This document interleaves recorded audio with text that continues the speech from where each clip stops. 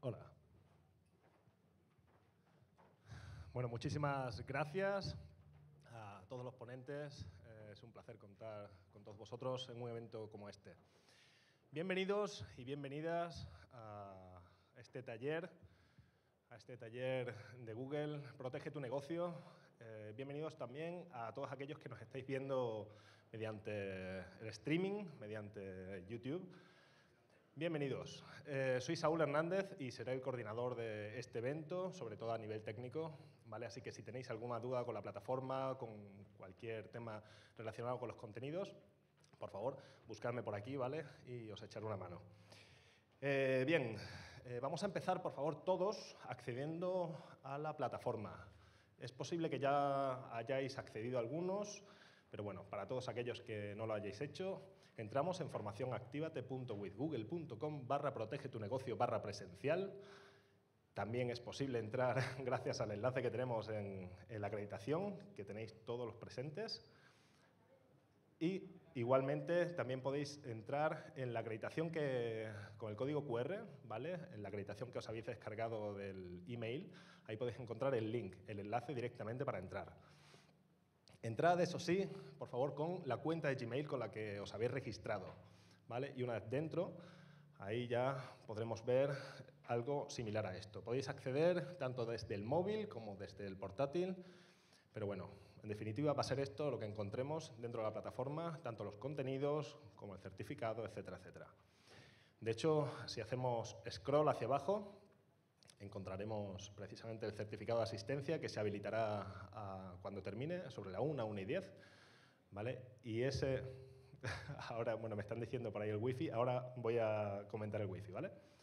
Em, el certificado de asistencia, que tiene esta pinta, eh, precisamente lo que acredita es que habéis pasado cuatro horas con nosotros formándoos en ciberseguridad con Google, ¿vale? y vuestro nombre. Lo podéis descargar una vez que se habilite, una vez que terminemos la formación.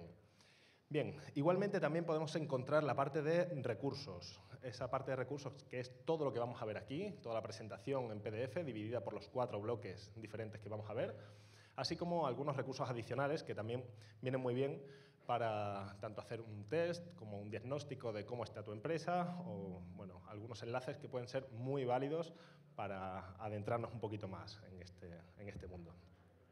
Bien, importante, eh, ni Google ni Google for Startups se hace responsable de vuestras pertenencias, así que simplemente echarle, vamos a estar moviéndonos por aquí y siempre es bueno echarles un ojo. Vamos con la Wi-Fi, aquí tenéis la Wi-Fi y el contacto, ¿vale?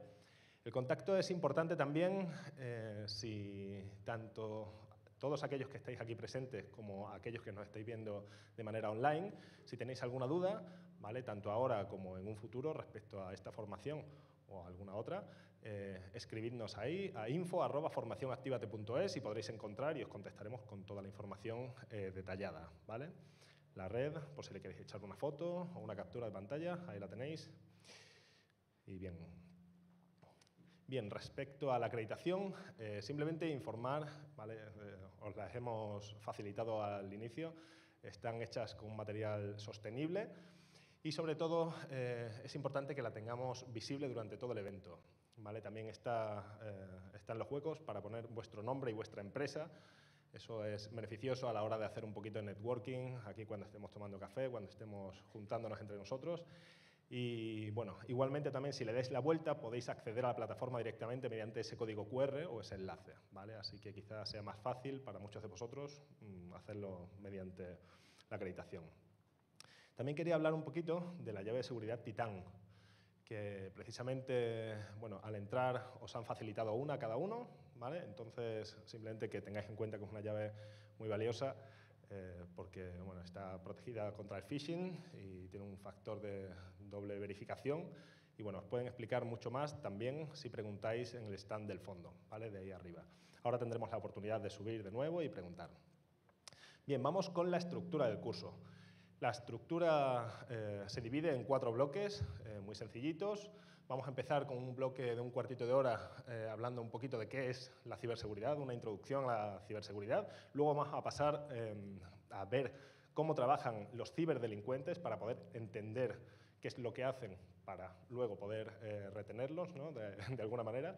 Haremos un pequeño descanso de un cuartito de hora y luego pasaremos a ver los planes de contingencia, así como la protección ¿vale? de elementos clave.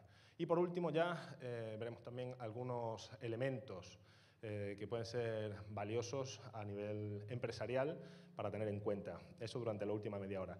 Y por último, bueno, pues cerraremos el programa y haremos un poquito aquí de networking. Para el día de hoy contaremos con nuestro experto en ciberseguridad. Él es Marco Antonio Lozano Merino y bueno, es eh, ingeniero de software y diplomado en ingeniería, en, perdón, en, en, tecnologías de la informática y tiene una amplia experiencia de más de 17 años como asesor y consultor en estas áreas y a día de hoy además es responsable de servicios de, de ciberseguridad tanto para empresas como para, eh, eh, como para profesionales en INCIBE. Así que nadie mejor que él para darnos esta formación a lo largo del día de hoy y, bueno, y poneros al día, aprovechar todo su conocimiento para hacerle preguntas, también de manera online. Eh, para hacerlo, de hecho, si alguien tiene alguna duda, alguna pregunta, sobre todo para todos aquellos que nos están viendo en streaming por YouTube, eh, lo podéis hacer mediante el correo info arroba. ¿Vale? Nos mandáis eh, vuestras dudas, vuestras preguntas y así podremos contestarlas en los turnos de preguntas eh, si vemos eh, que hay algo de tiempo y demás. Así que, por favor, aprovechad. Y bien, para empezar, eh, os quería pedir a todos que accedamos a la plataforma y hagamos un test que es fundamental que hagamos para saber también cómo es el, eh, en qué punto estáis, ¿no? como empresas, como personas aquí presentes, como asistentes. Entonces, por favor, vamos a acceder a la plataforma, ¿vale? Accedemos todos, vamos a hacer un pequeño test previo, dos minutos, y luego nos vamos a ir ya a tomar un café. En este test previo entramos, formacionactivate.withgoogle.com barra protege tu negocio barra presencial, o simplemente entramos mediante el enlace en la acreditación que tenéis, y una vez dentro le damos al formulario previo. Lo podéis ver ahí. Formulario previo. Entramos, contestamos todos, son dos minutitos, no es más. Y una vez que contestemos ya, pasamos a hacer un pequeño descanso y a tomarnos un cafelito hasta las 10 en punto que empezamos con el docente. ¿Vale? Así que nada, muchísimas gracias a todos y a todas por estar hoy aquí y en streaming siguiéndonos. Y bueno, una vez que rellenemos esto, ya nos vamos a por café. Gracias.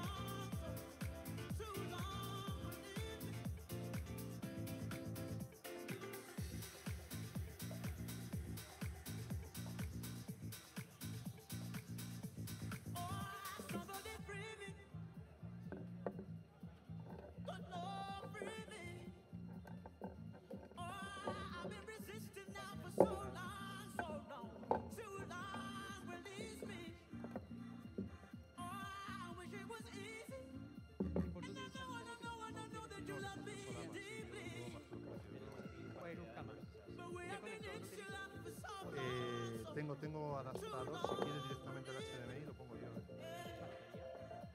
Sí, ahí, ahí.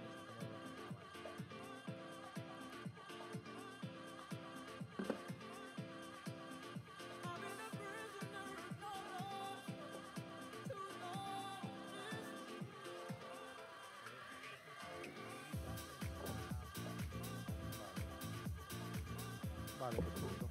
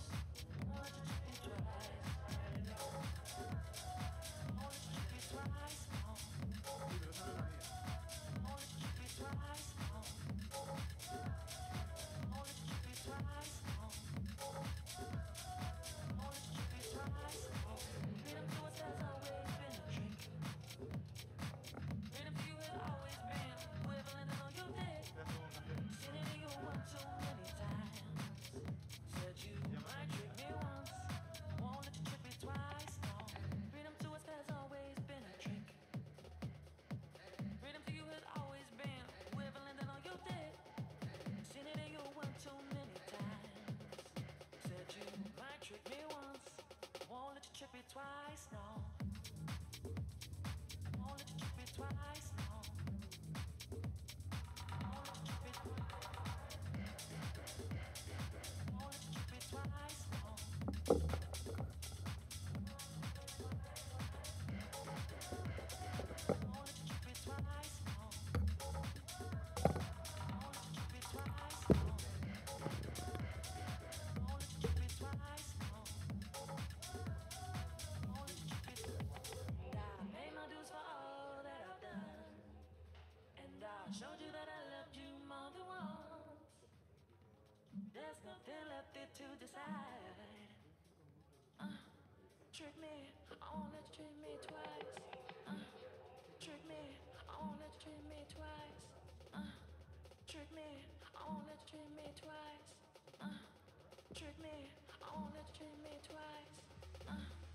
Trick me,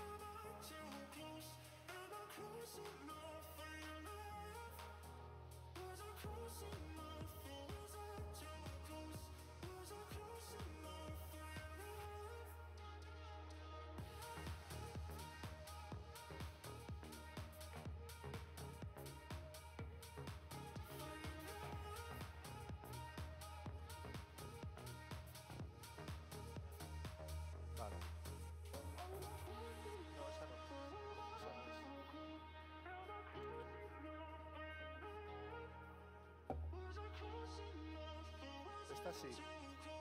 Esta sí, pero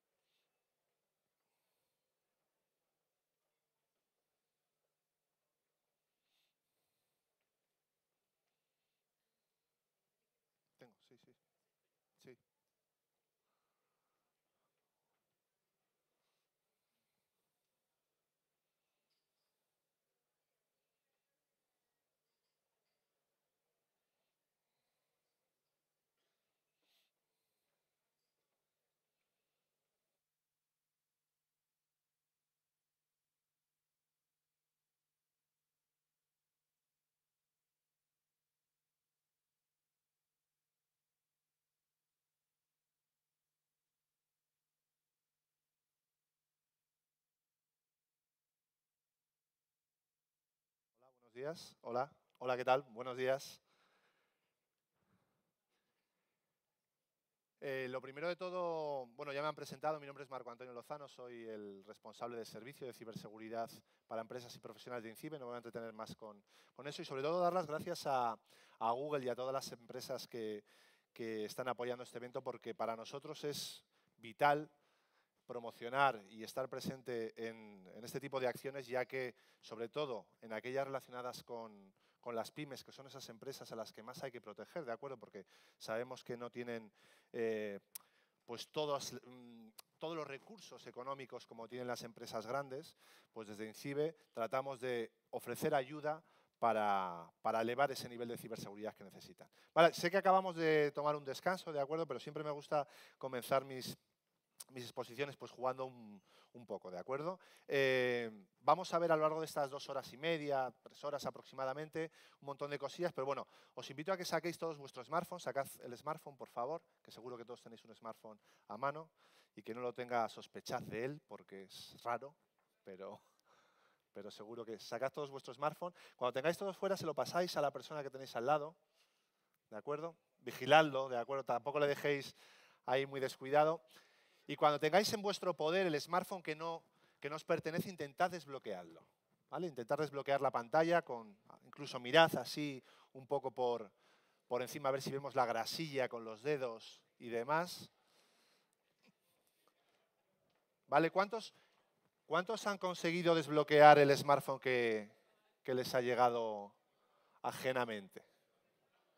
Uno, sin vergüenza, ¿eh? que aquí estamos para aprender, no es motivo de, 2, 3, 4, 5, 6, 7, 8. Bueno, hay alguno, ¿verdad? Bueno, ese es uno de los primeros pasos y quiero que, que, lo recordéis porque luego al final de la presentación vamos a hacer un pequeño inciso acerca, acerca de esto. ¿Vale? Y luego otro pequeño juego, desde aquí no lo vais a ver eh, muy nítidamente, pero bueno, vemos dos páginas iguales, idénticas. Por cierto, mencionar que el tema de que se use esta marca no es por nada, sino porque es uno de los que a mí particularmente me ha llamado más la atención de un tipo de, de, riesgo. Lo voy a ampliar un poco, aquí lo vamos a ver un poco mejor, a ver si alguien en cosa de medio minuto es capaz de identificar o buscar la diferencia en, en estas dos imágenes.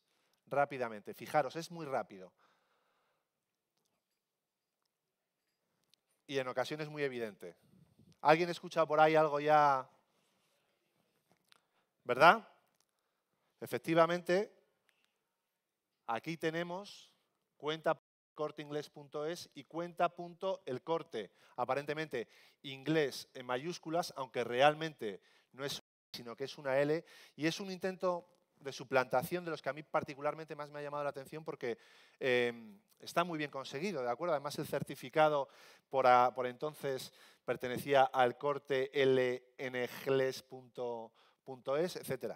Ya veremos un poco más adelante cómo, en qué consiste este tipo de, de ataques. Vale, vamos a ver ahora el programa que vamos a llevar a cabo de la sesión. Primero vamos a tener una introducción a la ciberseguridad, cuáles son las amenazas que más afectan a las organizaciones y sobre todo enfocándolas a, a las pymes, microempre, microempresas y, y autónomos, eh, cuáles son los ataques informáticos más habituales para, para, este tipo de organizaciones, cómo actúan los ciberdelincuentes, que al final son el elemento que, que perjudica a las, a las, empresas, cómo tenemos que contratar los servicios de ciberseguridad, porque todas las pymes eh, estaremos de acuerdo en que son clientes de servicios de informática y demás, pero de ciberseguridad eh, no muchas, la protección de los elementos clave y la implementación de planes de contingencia para tratar de mitigar esos posibles problemas de ciberseguridad que pueden afectar a las empresas, y luego cuáles son los recursos que tenemos desde INCIBE y desde Google para tratar de proteger eh, a las organizaciones.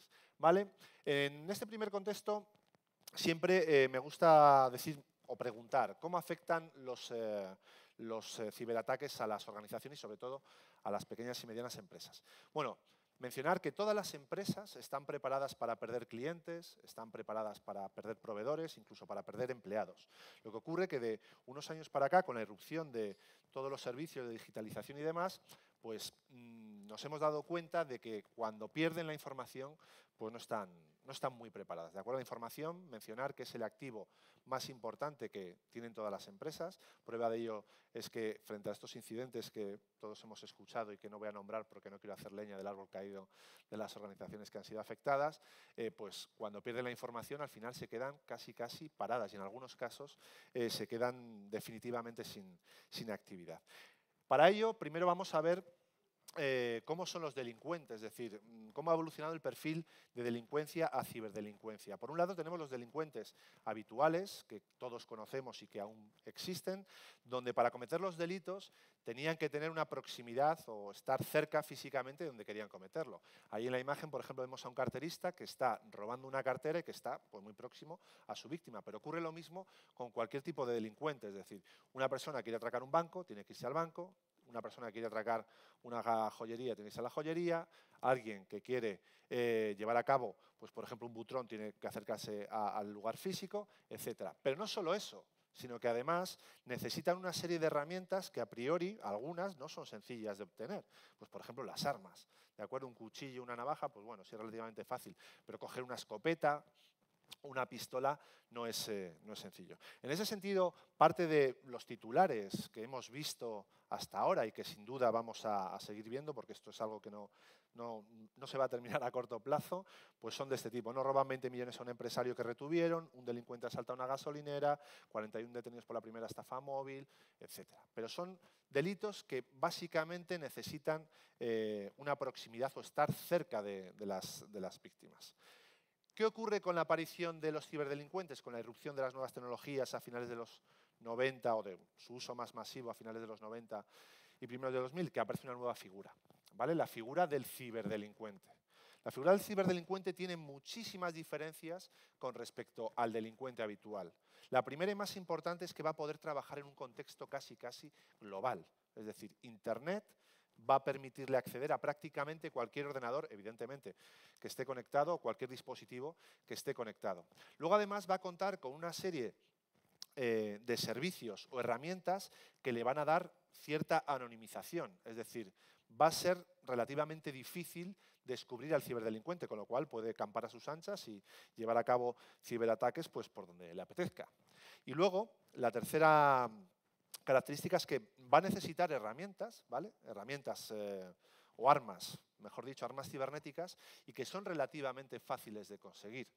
Y no solo que sean relativamente fáciles de conseguir, aquí vamos a hacer alguna prueba de concepto con, alguna de ellas y vamos a ver lo, fácil que es suplantar una página web, o lo fácil que es capturar unas contraseñas, o lo fácil que puede ser em, obtener una lista de, de correos. Luego, además, esas armas cibernéticas se pueden descargar desde Internet sin ningún tipo de restricciones, están por muchos sitios.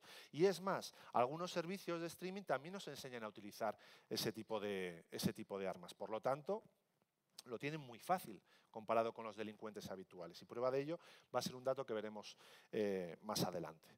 Por ejemplo, de 2012 y anteriormente también y a partir del año 2017 algunos de los titulares que encontrábamos pues eran de este tipo. JP Morgan sufre un ciberataque que afecta a 76 millones de hogares, la China investiga el último timo del criptoloques, un ataque informático, etcétera, etcétera, etcétera. Y después con eh, la aparición de WannaCry en el año 2017 todo esto se magnificó mucho más gracias a los medios de, comunicación y medios de prensa que además hacen una labor, aunque parezca que, no, muy buena en lo relativo a concienciación.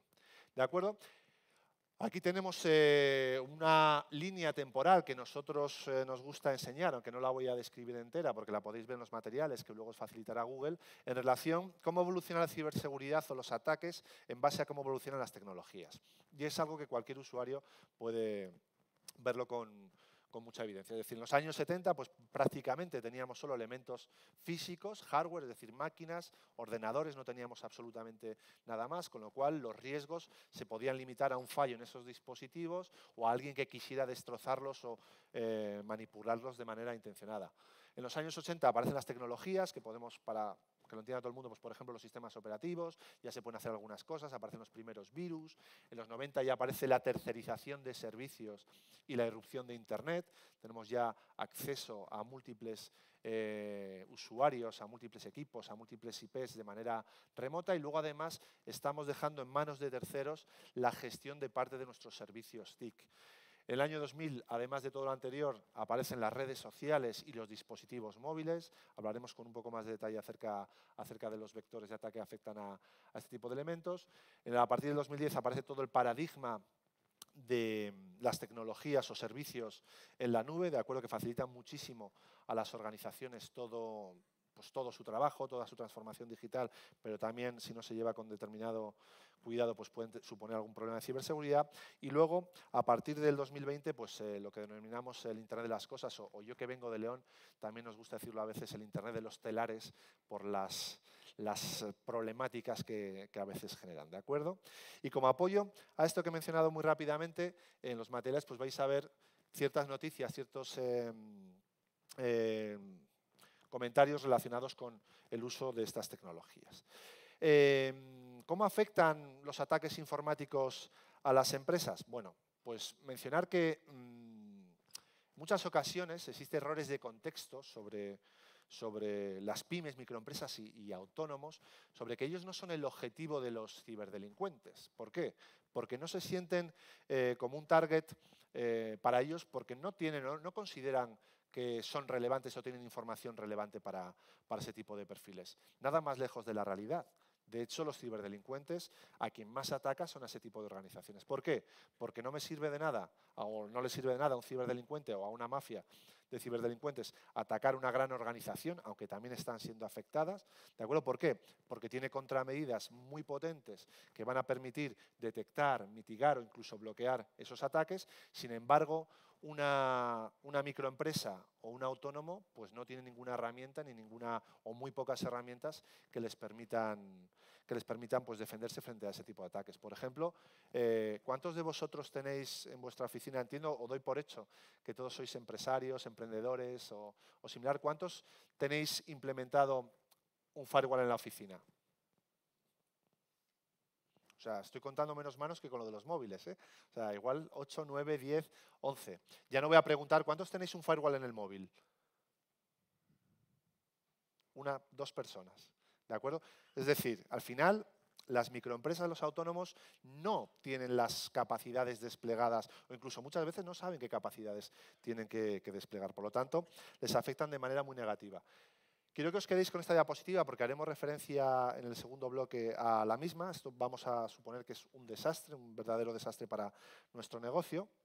Y en relación a lo que comentaba antes de la ciberdelincuencia, ese dato al que hacía mención es este, ¿vale? Sacado de un estudio del año 2017, correspondiente publicado en 2018, que por entonces el cibercrimen eh, representaba el 1% del PIB mundial. Este año se ha visto, bueno, el año pasado se vio reducido, creo recordar, algún estudio que he visto 0,6, 0,7, pero bueno, esto depende de las fuentes también.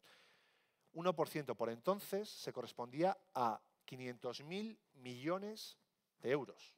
O sea, es muchísimo dinero. Pero luego si además nos ponemos a pensar lo que tiene que hacer un delincuente convencional o un ciberdelincuente para llegar a obtener esta cifra, pues podemos ver que, o podemos inferir que los delincuentes habituales van a migrar a la ciberdelincuencia. Porque pensad cuánto cuesta eh, trasladar 500 personas de manera ilegal del norte de África a Europa en un barco, lo que necesitamos, logística, eh, sobornos, etcétera, o lo que necesitamos, o lo que necesitan los narcotraficantes para producir una tonelada de droga que suponga un beneficio similar. Sin embargo, si pensamos en lo que necesita un ciberdelincuente para enviar un millón de correos de phishing o suplantando una organización y que pique solo un 1% y le reporte pues, prácticamente la misma cantidad, vamos a ver que es irrisorio, es decir, es de risa. Por eso también estamos detectando que muchas organizaciones que se dedicaban a delitos criminales convencionales, por decirlo de alguna manera, están migrando hacia el cibercrimen.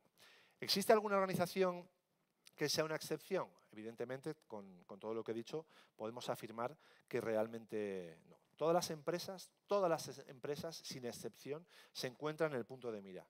Por un lado, las pequeñas y medianas empresas, pues con ataques de manera masiva, es decir, no dirigido, y las grandes organizaciones de una manera más concretada y con ataques mucho más sofisticados que también les pueden afectar. Evidentemente a esta pregunta también tenemos respuesta. ¿Necesita mi empresa de la ciberseguridad o implementar ciberseguridad? Por supuesto, rotundamente, sí, sin excepción. ¿Sabemos qué riesgos pueden afectar a las pymes?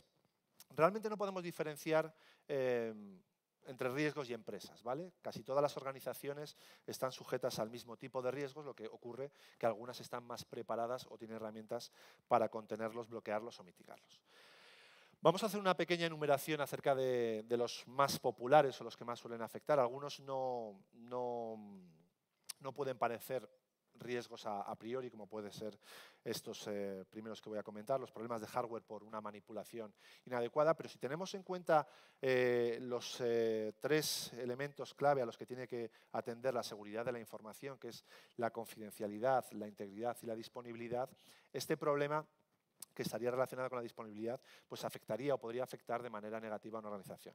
Esto básicamente, por poner un ejemplo gráfico y que os ilustre qué sería un riesgo o una amenaza de estas características, ya por ejemplo cuando el personal de limpieza de nuestra organización, de acuerdo, pues dedicándose a sus labores, va barriendo, va manipulando algún cable que estaba conectado o estaba medio conectado, lo suelta y de repente nos quedamos sin poder acceder, pues, por ejemplo, al servidor, a un NAS, a una unidad eh, que tengamos conectada remota, a cualquier tipo de, de problema relacionado pues, con, con, ese hardware que tenemos por la oficina. Muchas veces, yo recuerdo que cuando trabajaba en consultoría, uno de los problemas que tenía, por ejemplo, la tercerización de servicios de empresas que daban soporte informático era esto. ¿Por qué? Porque el coste de desplazar a un técnico para comprobarlo era alto. Entonces, bueno, sacamos un modelo para tratar de resolver esto, pues lo típico de, ¿ha comprobado lo que dicen las operadoras? ¿De acuerdo? ¿Ha comprobado usted que tiene el cable de red conectado? ¿Ha comprobado, ha comprobado, ha comprobado? Para tratar de optimizar riesgos. Luego, este problema que se está dando cada vez con más frecuencia, antiguos trabajadores o empleados eh, descontentos, lo que también se denomina eh, en el argot eh, los insiders, es un problema que realmente afecta y que además puede provocar que esa empresa pierda la reputación de una manera casi casi mm, instantánea. ¿Por qué? Porque aquí pueden suceder dos cosas. Por un lado, que esta persona, este insider, quiera provocar algo malo a la empresa haciendo pública una información que tiene, pues, por ejemplo, datos de carácter personal, o también puede suceder lo contrario, que es robar información para vendérsela a la competencia. Nos podemos encontrar ante estos dos escenarios y cada vez sigue siendo, o sea, está siendo más habitual. ¿De acuerdo? Con lo cual eh, es importante tener controlado este tipo de vector. ¿Y por qué lo digo? Bueno, porque en muchas ocasiones cuando me han mm, encontrado, pues yendo a una empresa, viendo los usuarios que tenía, por ejemplo, en su directorio activo, veo que en la empresa hay 12 trabajadores y sin embargo en el directorio de usuarios hay igual 30 o 40. Y cuando consulto digo, ¿y estos usuarios mm, a quién pertenecen? No, ya no trabajan aquí, se han ido. Bueno, ese tipo de cosas que luego veremos cómo tratar de, corregirlas, es importante tenerlas en cuenta para que esto no suceda. Es decir, tener cuentas de usuarios que un trabajador descontento pueda utilizarlas de manera remota, como puede ser el acceso a una web, como puede ser el acceso a un recurso que tengamos en, nuestra oficina, es algo que tenemos que, intentar corregir. Luego existen herramientas también para tratar de paliar o mitigar este tipo de problemas, de acuerdo como son los DLPs o Data Loss Prevention, pero que en muchos casos eh, las pequeñas y medianas empresas no pueden asumir, con lo cual tenemos que tratar de utilizar otro tipo de, herramientas o mecanismos que, podamos eh, usar para prevenir este tipo de, problemas. Luego, por supuesto, vulnerabilidades. Las vulnerabilidades ahora mismo son la amenaza, el riesgo más importante que más daño está provocando a las organizaciones. ¿Vale? Sí que es cierto que en las grandes organizaciones la entrega de actualizaciones o la actualización de los equipos no es algo trivial, ¿de acuerdo? Porque hay muchos factores que hay que contemplar. Pero es cierto que, por ejemplo, en las microempresas o los autónomos, el aplicar actualizaciones no va a interferir, por ejemplo, en entornos de desarrollo, en entornos de integración y otra de entornos que pueden existir en las grandes compañías. ¿De acuerdo? Por lo tanto, las vulnerabilidades que se corrigen con actualizaciones, siempre es necesario que nuestros eh, negocios las llevemos eh, a cabo. Los phishing o suplantaciones es el mecanismo actual o el vector de ataque más utilizado para infectar a las empresas. ¿Vale? ¿Por qué? Bueno, pues porque van a utilizar el canal más utilizado y más económico por los ciberdelincuentes, que es el correo electrónico, y luego además cada vez sofistican, por decirlo de alguna manera, eh, los mensajes que envían. Si hacemos un flashback a hace 10, 12, 14 años, los mensajes de phishing o suplantación. Bueno, eh, todos habéis recibido un phishing seguro, ¿verdad? Seguro. Un correo que os llega del banco, sobre todo, o bueno, los hay de múltiples temáticas. Ahora os voy a contar una anécdota relacionada con esto muy, muy graciosa. Pues este canal y este vector de ataque es el más utilizado y el más eficiente, ¿de acuerdo? ¿Por qué? Porque tenemos, podemos enviar a miles de millones, o los ciberdelincuentes pueden enviar a miles de millones de usuarios un montón de correos electrónicos y con que un pequeño porcentaje de ellos haga clic en el enlace se descargue el adjunto y lo ejecute, van a tener una capacidad de ganancia impresionante. En relación al phishing, la anécdota que os quería comentar es un conocido, resulta que se infectó con un ransomware, ¿vale? un ransomware es el, que todo el mundo lo explicaré más adelante, pero seguro que lo conocéis, es un malware que secuestra el ordenador. Se infectó con un ransomware porque lo ejecutó desde su cuenta corporativa cuando realmente la inscripción estaba asociada a su cuenta personal.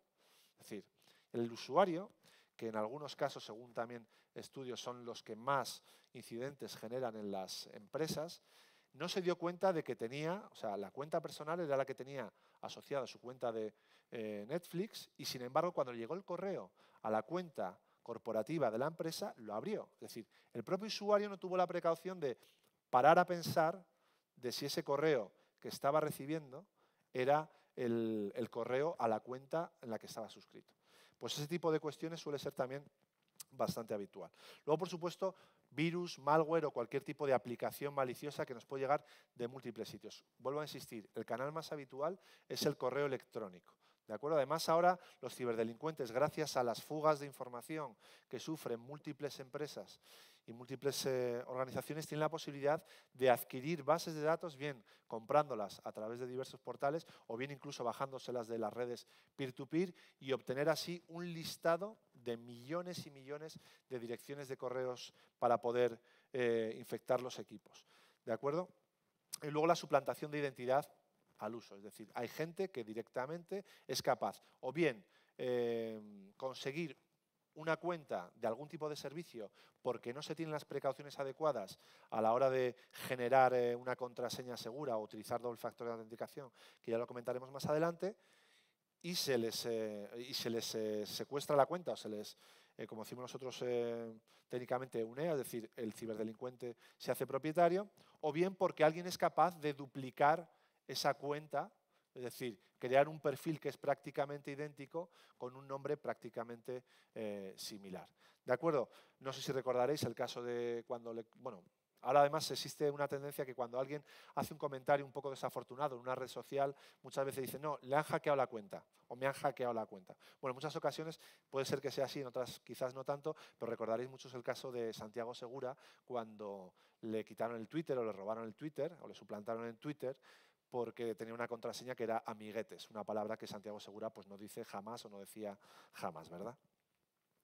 Bueno, y luego, por supuesto, en la parte más top de, problemas o, amenazas que, tenemos podemos encontrar pues, lo que son los ataques dirigidos, incluso espionaje industrial. ¿vale? Los ataques dirigidos también los comentaremos brevemente a través de lo que se conoce como el fraude del CEO, también conocido como whaling, para aquellos que os gusten los términos un poco más técnicos.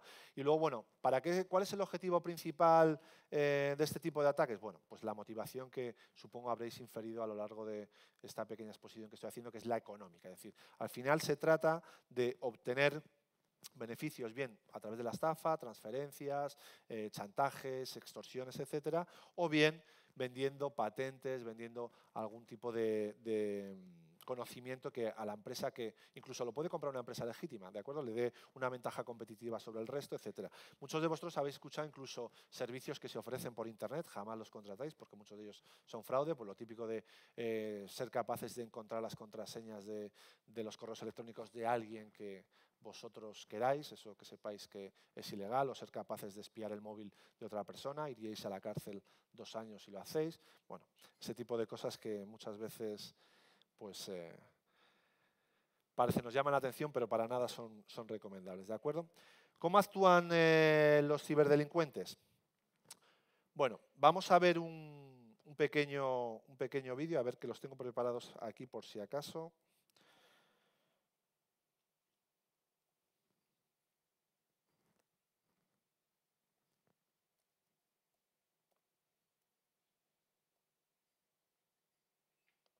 Eh, lo que no tengo aquí es el, audio. ¿Tenemos posibilidad de reproducir el audio? O si no lo hacemos a la antigua usanza, pongo el micro con los altavoces aquí.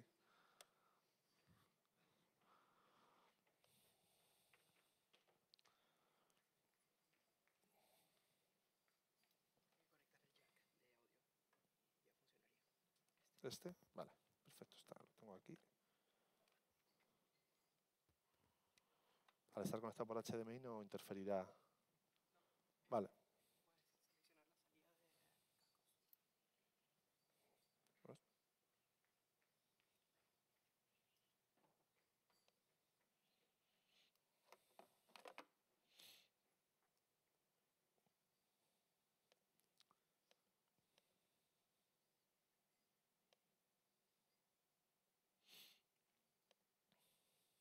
Cosas del directo, esto no... Auriculares, auriculares.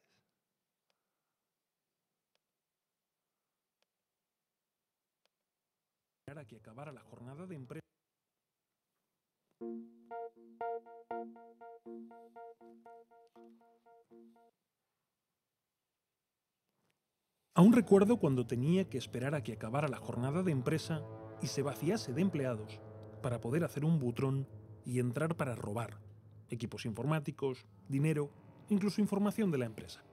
Pero desde que me mudé a Internet para mis actividades delictivas, es mucho más fácil robar información corporativa para solicitar un rescate por ella. Y lo mejor es que muchas empresas ni se dan cuenta. ¿Queréis saber cuáles son mis butrones en Internet? Pues os sorprenderíais con la información que hay disponible y lo sencillo que resulta infectar ordenadores en algunas empresas poco protegidas. A veces me basta con un simple correo electrónico con un virus adjunto. Una vez infectado, puedo instalar troyanos, hacerme transferencias bancarias desde el departamento financiero o robar información para revenderla, con lo sencillo que es instalar un antivirus y mantener los equipos actualizados. Casi nunca tengo que esforzarme demasiado, solo tengo que encontrar algún incauto que pinche un enlace que no debe, ejecute un crack para ese programa que acaba de descargar y que su departamento de sistemas no le instala, o que introduzca sus credenciales en una página web falsa que le mandé por correo electrónico. Me facilita mucho el trabajo el que la concienciación en ciberseguridad sea algo tan escaso en las organizaciones. Muchas veces instalan aplicaciones en el servidor web, las exponen a Internet sin darse cuenta de que es necesario aplicar parches y mantenerlas actualizadas, cambiar la contraseña por defecto o el directorio que contiene los ficheros de configuración con la clave de la base de datos. Gracias a esas torpezas, puedo entrar hasta la cocina sin que nadie se dé cuenta. Me encantan los encargos de personas que quieren espiar los teléfonos móviles de sus parejas o de algún directivo de alguna empresa. Inspecciono el correo corporativo de su propietario, copio la información que tiene almacenada, reviso las claves almacenadas en los cachés e incluso sus fotos personales, con lo sencillo que sería utilizar una clave de acceso y cifrar los dispositivos. Cuando llego a un hotel, pongo en marcha una wifi pirata para ver a quién cazo. No tardo en recibir conexiones de directivos y empleados. Así, capturo toda la información que transmiten, personal y profesional. Seguro que no saben lo peligroso que puede ser conectarse a wifis desconocidas. Quizás algún día se den cuenta y se me acabe el chollo, pero mientras tanto... Otra de las cosas que me fascina es cuando me encargan robar información confidencial de empresas llamar por teléfono a algún empleado y hacerme pasar por técnico de informática de la compañía. A veces el incauto me da su usuario y su contraseña, y me deja el control del equipo, mientras se baja a tomar un café. ¿Nadie les ha enseñado que las claves son personales e intransferibles? ¿Y si os cuento que hay personas que piensan que su nombre, seguido de su fecha de nacimiento, es difícil de adivinar? Otras creen que seis letras consecutivas en el teclado es una buena opción como clave. Si supiesen que tengo herramientas para probar miles de contraseñas por segundo, supongo que aprenderían a utilizar claves largas y que incluyan minúsculas, mayúsculas, símbolos y números. Internet es un lugar genial para nosotros los ciberdelincuentes, con los usuarios imprudentes o temerarios, de empresas que no se preocupan de su seguridad o que ni siquiera se les pasa por la cabeza aplicar medidas. Que sigan así, nos estamos haciendo ricos a su costa. Bueno, todo, todo lo que ha mencionado el, el ciberdelincuente, o sea, todo eh, es fruto de incidentes que hemos recibido en INCIBE. Es decir, nosotros a través de eh, nuestro blog tenemos un apartado que son historias reales, donde tratamos de empatizar con las organizaciones a través de la publicación, anonimizada eso sí, de casos que nos llegan al centro de respuesta a incidentes de INCIBE. Y todo esto que mencionamos en este vídeo son cosas de casos que hemos recogido a través de, del servicio de respuesta. ¿Vale? Pero ¿cómo, cómo lo hacen los, eh, los ciberdelincuentes? Es decir, ¿cuál es el proceso, el flujo que sigue para llevar a cabo esos ataques y poder engañar a las personas? Pues básicamente utilizan dos vectores de ataque esenciales. Por un lado, el de las personas y por otro lado, el de los sistemas. ¿Cuál creéis que es el, el más sencillo de explotar o de vulnerar? Efectivamente, las personas al final, como mencionaba antes, son los causantes del mayor número de incidentes en las organizaciones. ¿Y qué es lo que tratan de aprovecharse de las personas? Bueno, pues sobre todo tratando o utilizando técnicas de ingeniería social, que básicamente es el arte del engaño, es decir, el timo de la estampita o cualquier otro timo físico llevado, llevado a Internet. Luego tratan de utilizar también el carácter de urgencia, es decir, siempre que hayáis recibido, aquellos que, les haya llegado un mensaje de phishing de un banco, en casi todos van a aparecer que si en menos de 24 horas no metemos las claves o actualizamos las claves, nos vamos a quedar sin poder acceder al servicio. Es decir, nos meten prisa para qué? Sobre todo para que tengamos eh, poca capacidad de reacción, o esa es la intención en, en principio.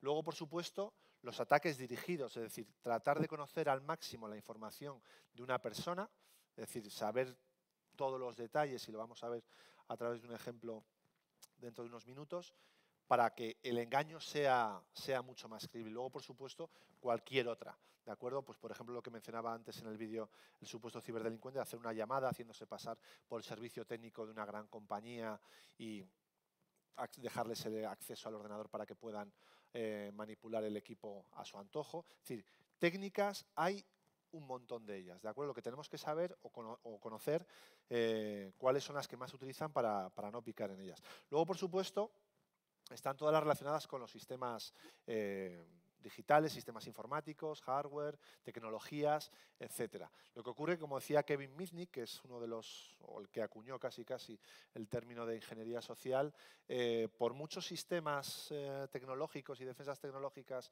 que tratemos de, poner para protegernos frente a los incidentes, si no enseñamos a protegernos de todo esto, va a ser casi casi absurdo. Bueno, vamos a ver algunos casos eh, que tienen gran impacto hoy en día y que son de los que os comentaba antes que nos han llegado a través del Centro de Respuesta a Incidentes. Por un lado, tenemos la historia de María, ¿de acuerdo?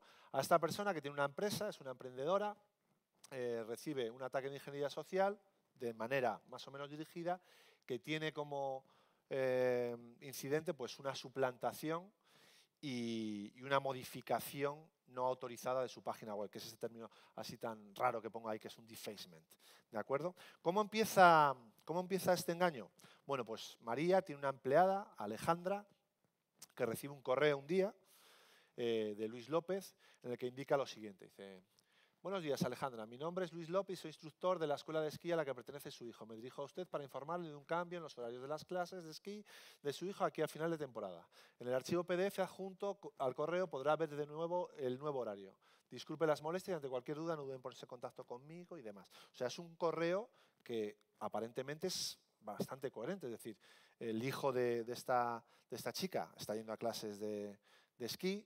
Luego, evidentemente, el tema del, horario, Alejandra, como una persona que está trabajando en un lugar, le afecta de una manera importante, es decir, que a su hijo le cambien las clases, puede suponer para ella pues, que tenga que conciliar de una manera diferente a lo que lo está haciendo ahora. Y bueno, ¿qué es lo que haría Alejandra en este caso? Abrir el PDF, ¿verdad? ¿Para qué? Para comprobar el horario de su hijo. ¿Qué es lo que puede contener el PDF? Aparte de la información? Pues mencionar que antiguamente, pues prácticamente casi todos los, eh, los virus pues se transmitían a través de programas ejecutables, ¿de acuerdo? Los famosos .exe, esos tan peligrosos. A día de hoy, cualquier, cualquier archivo, cualquier archivo es susceptible de tener una pieza de código malicioso, un malware, un virus y demás. Por lo tanto, mucho, mucho cuidado. Efectivamente, este archivo PDF em, tiene un malware. ¿de acuerdo? En este caso se trata de un troyano. Un troyano básicamente lo que hace es tener control del dispositivo eh, que infecta totalmente. Y luego además Alejandra cuando abre ese archivo PDF eh, va a ver que las clases de su hijo no están cambiadas. ¿De acuerdo? ¿Alguien sabe por qué o por qué puede ser este el detalle?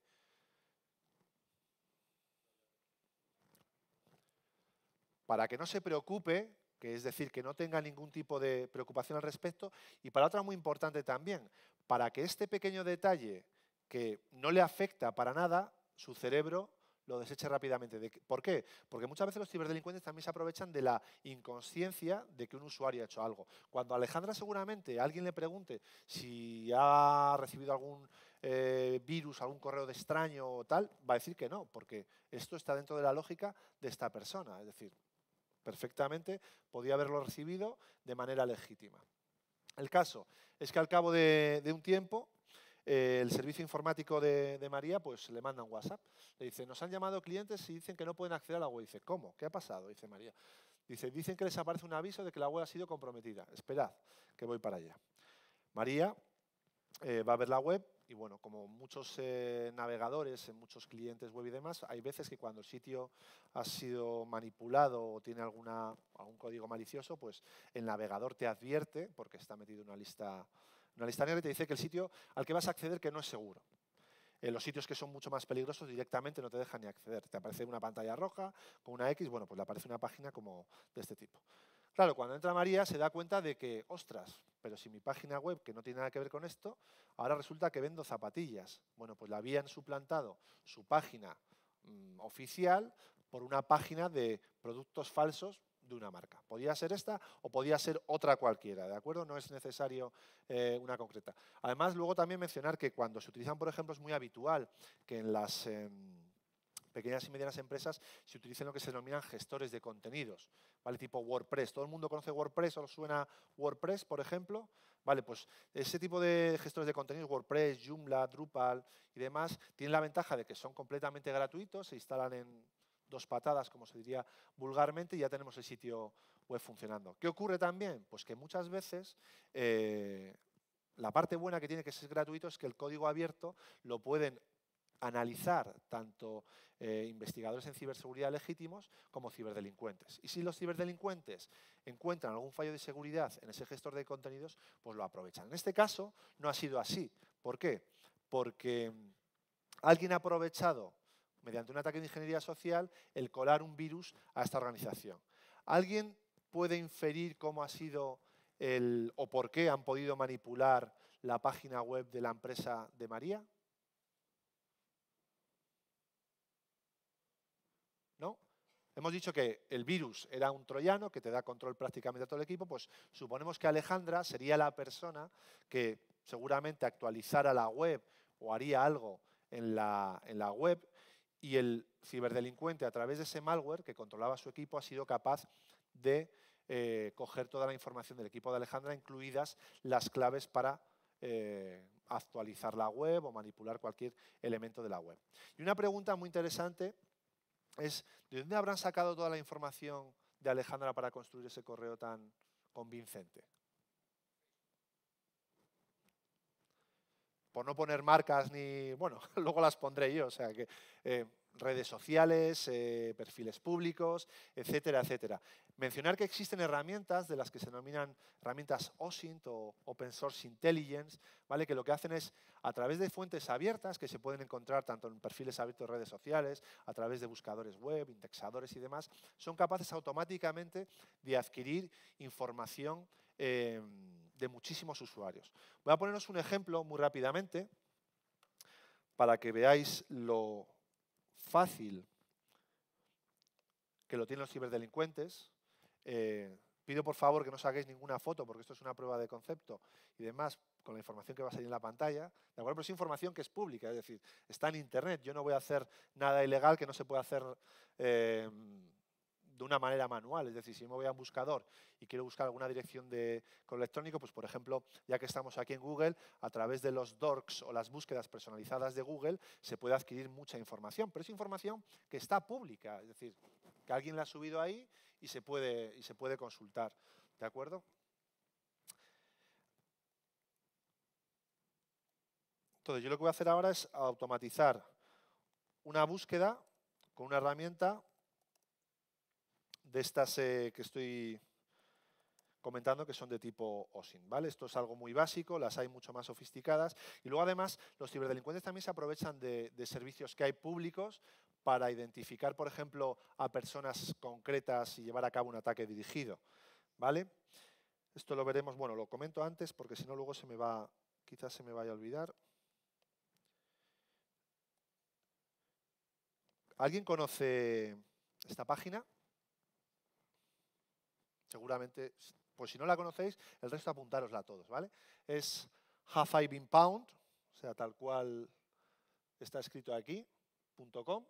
Y es una página muy curiosa porque te permite ver o comprobar si tu dirección de correo electrónico en algún momento se ha visto comprometida, ¿vale? Yo he puesto aquí la mía para no dejar evidencia a nadie, una mía antigua, ¿de acuerdo? Que no es la, que utilizamos. Entonces, aquí simplemente introduciendo nuestra, eh, nuestra credencial, efectivamente, en mi caso, Marco Lozano, arroba Inteco, que es como se llamaba mi compañía anteriormente, dice que, oh no, pound, quiere decir que está comprometida. Y luego además te indica dónde ha sido comprometida, ¿vale? En qué servicios ha sido comprometida. Es decir, muchos son conocidos, otros no son tan conocidos, pero luego lo más interesante para los ciberdelincuentes de esto es que estas bases de datos que se han liqueado, que se han eh, publicado, se pueden comprar o adquirir, como decía antes, y muchas veces se pueden hasta descargar gratis. Y no solo eso, por un lado tenemos este tipo de servicio, por llamarlo de alguna manera, y luego además tenemos otro servicio, también público, que es Ghost Project,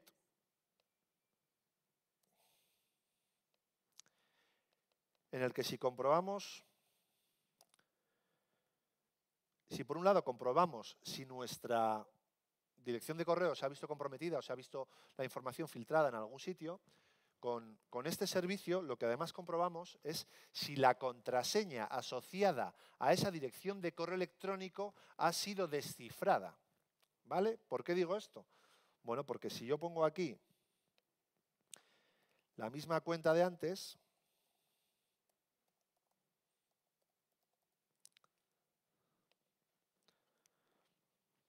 le doy a buscar,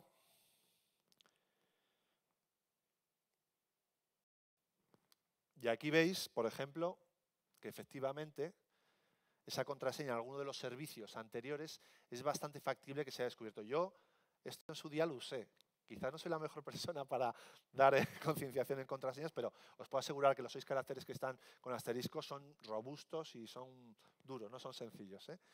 Pero fijaros, daros cuenta del problema. Es decir, no solo tenemos base de datos que se han eh, filtrado, sino que además tenemos la posibilidad de contar con servicios que nos dan o nos infieren parte de la contraseña. Es decir, en algún momento se ha descifrado. y las herramientas, por ejemplo, para descifrar estos seis caracteres, conociendo los tres primeros, o sea, os puedo asegurar que casi casi cualquier ordenador de hoy en día, seis caracteres con los cuatro juegos de, teclas, lo va a descifrar en, prácticamente nada.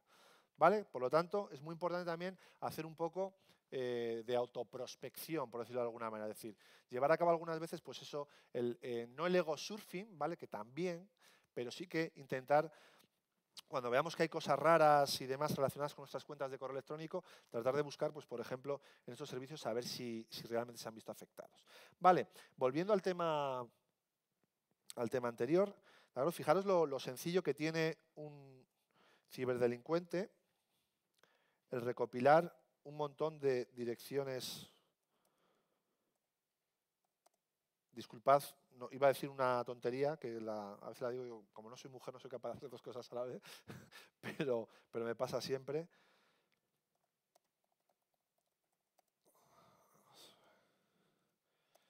Aquí lo que voy a intentar es, con esta herramienta, automatizar la búsqueda de direcciones que tengan eh, gmail.com, direcciones de, Gmail, ¿vale? A través de diferentes eh, motores de búsqueda. ¿vale? En este caso, he utilizado Google. Y esto lo hace la herramienta con la información que está buscando por Internet, de una manera completamente o sea, automática. No hay nada que... Hay veces que funciona mejor eh, y otras veces que funciona peor. ¿eh? Es lo que tienen las herramientas mm, no gratuitas. ¿Vale? Fijaros. Y lo voy a quitar ahora mismo, por si a alguien se le ocurre sacar una foto. ¿Vale? Pero habéis visto lo rapidísimamente que un ciberdelincuente puede encontrar un montón de direcciones eh, de un dominio. O sea, yo he utilizado Gmail por no comprometer ninguna empresa, pero fijaros que yo en vez de ese dominio utilizo el de un objetivo concreto, ¿vale? Pues yo qué sé, que quieran utilizar a los empleados de INCIBE. ¿Por qué? Porque es mucho más sencillo llevar un ataque dirigido a una persona que no hacer un ataque masivo, que también funcionan muy bien. Pero cuando llegamos a, cabo ataques dirigidos es mucho mejor utilizar este tipo de, de técnicas. Vale, por seguir con el tema de los casos,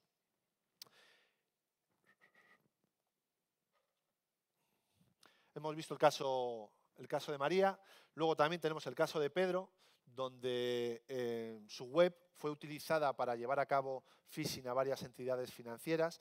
Lo más importante de esto, y luego veremos alguna herramienta que, por ejemplo, ofrece Google para tratar de evitarlo, es que muchas veces nosotros estamos, o nuestra web está siendo un proveedor de phishing sin que nosotros lo sepamos, ¿vale? Porque podemos tener marcolozano.com y lo vemos perfectamente, pero el ciberdelincuente ha metido una serie de carpetas o subcarpetas que nosotros como muchas veces pues no tenemos mucho conocimiento, no sabemos que están ahí y sin embargo las está utilizando para eh, llevar a cabo pues, suplantaciones de entidades financieras o de cualquier tipo de, de entidad. ¿De acuerdo? Luego esto además tiene un impacto bastante bastante negativo. Lo mismo que si nuestra web es utilizada para distribuir malware o cualquier tipo de código malicioso. Que, por ejemplo, los motores de, de, búsqueda, si detectan ese comportamiento, te los bloquean. O incluso otras entidades de terceros también te bloquean las webs. Si nuestra actividad está relacionada con el e-commerce, nos podemos hacer una idea del impacto que eso puede generar sobre nuestra, sobre nuestra empresa. Y seguramente muchos de vosotros, si sois emprendedores, tendréis vuestra página web, que será vuestro escaparate y demás. Por lo tanto, esto os podría afectar eh, muy negativamente. ¿vale? ¿Cuáles son los más graves o los que más impacto tienen? Pues, por ejemplo, los famosos fraude del CEO o whaling. ¿vale? Estos son ataques dirigidos que tienen eh, pues como vector de ataque, pues la ingeniería social un ataque dirigido y tratar de engañar a una persona. Hay múltiples variantes. Aquí os voy a exponer una completamente real que nos llegó a, INCIBE, donde, bueno, el fraude del CEO básicamente consiste en que una persona con capacidad de decisión es, eh, dentro de una organización es suplantada eh, por otra para llevar a cabo algún tipo de transferencia. ¿vale? Pues, por ejemplo, un director general es suplantado para tratar de eh, hacer que la persona, la gerente financiera, pues, por ejemplo, lleve a cabo una transacción. En este caso, se tiene en cuenta pues, mucho el, perfil de esa persona que se quiere engañar, ¿de acuerdo? Lo voluble que, pueda ser. Y luego, además, también pues, se trata de, indicar que, pues eso, que el poder que tiene, por ejemplo, un director general se ejerza desde un simple correo electrónico. ¿Cuántos de vosotros, si os llega un correo del, director general, eh, lo olvidaríais y no le haríais mucho caso? Ninguno, ¿verdad? Bueno, pues esta es una de las eh, cuestiones que, trata de aprovechar este tipo de fraude. En este caso, el tipo de correo más o menos es similar, ¿de acuerdo? Pues, por ejemplo, hola, necesito tu ayuda para una operación financiera. Suele también utilizarse mucho eh, el carácter confidencial de la transacción. Si luego además eres un empleado, vamos a decir vulgarmente, pelotilla, vas a vas a querer hacerlo, ¿de acuerdo? Porque seguramente vas a sumar puntos. Y luego además siempre eh, suele indicar que tienen que hablar solamente por mail. ¿Por qué? Porque seguramente si nos ponemos a hablar con él, se descubrirá todo el engaño y dirá, yo no te he mandado nada. O sea, ¿qué me estás contando? Yo no, este correo no es mío. ¿De acuerdo? Pero sí que es cierto, si buscáis, hacéis una búsqueda, existen los primeros eh, fraudes del CEO que utilizan la, inteligencia artificial eh, a través de los famosos deepfake, que seguramente todos conoceréis, o si no lo conocéis, es pues, la cara que se transforma, la de Obama, por ejemplo, fue la primera, la más típica, que a través de, pues eso, mm, ingeniería artificial era capaz de poner eh, pues, en, el vídeo de otra persona pues, palabras que no había dicho, pues ya tenemos los primeros deepfakes que se utilizan para fraudes del CEO. El primero creo que fue en Alemania, donde a través de inteligencia artificial, de diversos archivos de audio que existían de esa persona, se logró que se, pudiera manipular el audio, con lo cual cada vez vamos un poco más, o sea, los ciberdelincuentes cada vez van un poco más eh, allá con este tipo de técnicas. ¿De acuerdo? Luego, además, en muchas ocasiones eh, también suelen utilizar eh, momentos en los que esa persona no está disponible. ¿Vale? ¿Por qué? Precisamente para, si intentan llamarla por teléfono, pues no, no poder localizarla y confirmar así la operación. ¿Dónde o cuándo saben cuándo tienen que llamar a los ciberdelincuentes o por qué lo saben? Por lo mismo, exactamente, por la información pública que vamos dejando en Internet. ¿De acuerdo? Bueno, aquí viene la respuesta del supuesto subordinado. Dice, por supuesto, cuenta conmigo absolutamente, ya me indicarás. Próximos pasos. Bueno, estamos en este momento efectuando una operación financiera, etcétera. Al final, un argumentario que está muy alineado con la realidad y que seguramente, o sea, con total seguridad, eh, es algo que está ocurriendo en esa compañía bien por que se ha enterado por algún sitio, bien porque en ocasiones también tienen comprometida la cuenta del director general o de otra persona que tiene acceso a esos correos, etcétera. Con lo cual es algo que es realmente creíble. ¿no? La pregunta clave, ¿cuáles son los saldos bancarios? ¿Por qué? Porque en función de lo que haya, sí pido. Es decir, si hay 100.000, eh, no, puedo pedir 250.000, o no estaría bien, ¿de acuerdo? Porque seguramente no me lo, no me lo hagan. Entonces, a partir de aquí, seguimos evolucionando con la conversación. Te informo que el tratamiento financiero confidencial será tratada por mí, puedes atenderme con prioridad. Bueno, este tipo de cuestiones para darle todavía pues esa esa falsa sensación de confianza al subordinado. Luego una parte muy importante de esto es que sabemos que los puestos de alta dirección, muchos de ellos se encuentran viajando, eh, no se encuentran en las oficinas y sobre todo la herramienta de trabajo que tienen es el smartphone o la tablet o similar, ¿de acuerdo? Y hay algo que en estos dispositivos no se podía analizar hasta hace relativamente poco, que eran las cabeceras de los correos electrónicos. ¿Por qué? Porque analizando la, la cabecera de un correo electrónico podemos determinar si el origen de ese correo electrónico es desde nuestra organización o desde alguien que lo está suplantando. Claro, aquí tenemos un problema adicional, que si han eh, comprometido una cuenta eh, legítima de nuestra organización, el correo va a ser legítimo, pero sin embargo la mayor parte de correos que vienen dirigidos del fraude del CEO son de correos que están falsificados. Y eso a través del análisis de las cabeceras se puede ver muy fácilmente. Por eso en INCIBE desde hace un par de años tenemos varios contenidos relacionados con la posibilidad de, que tienen los usuarios que no tienen conocimientos de analizar las cabeceras de, de correo electrónico. Bueno, y por supuesto, la historia de ransomware, que sabemos que está afectando muchísimo, sobre todo a las pymes y no tan pymes, ¿de acuerdo? Porque se ha convertido en algo que, que, bueno, iba a hacer una pregunta, pero ¿cuántos habéis sufrido un incidente de ransomware? O un amigo. Pues casi, casi tantos como, como móviles, más luego los que no lo dirán. Yo tengo una anécdota también de un conocido de Bilbao que es eh, constructor y que bueno, se infectó por un ransomware, las, los chicos que tenían en la oficina, las chicas, y resulta que pagó directamente. Sabéis que no tenéis que pagar si os veis afectados por un ransomware, porque como suelo decir siempre, estamos con el, el, teorema de las antenas de coche. Como suelo decir, es decir, me roban la antena del coche, ahora ya no sucede tan a menudo, pero me roban la antena del coche y la voy robando yo a los siguientes coches y al final la cadena nunca, nunca se acaba. ¿no? En este caso pasa igual al final el ransomware, casi todos los vectores de ataque vienen por el mismo sitio, ingeniería social, ¿de acuerdo? Y un phishing que suplanta cualquier tipo de, Y hablando de suplantaciones, vamos a ver lo sencillo que es suplantar y montar un servidor malicioso para, para que alguien pique en él algunos me dirán, bueno, es que no es, tan, no es tan fácil. Bueno, pues que aunque no sea tan fácil o sea tan evidente que se trata de un servidor malicioso, hay mucha gente que sigue cayendo en, eso. Por eso los ciberdelincuentes lo, lo explotan. Volvamos otra vez al arma cibernética, este que tengo yo instalado aquí, que bueno, que seguro muchos de los que están aquí lo conocen, que es una distribución de seguridad, se llama Kali, completamente gratuita y sin ningún tipo de, restricción de uso. Vale, lo que voy a hacer es crear un, portal, bueno, un servicio que todos conocemos, bueno, va a quedar grabado en vídeo tampoco, y para la gente que no está viendo en streaming, voy a crear un, portal falso de Facebook, ¿de acuerdo? Para intentar capturar las credenciales de alguien que pueda picar en el portal. Entonces, fijaros lo rápido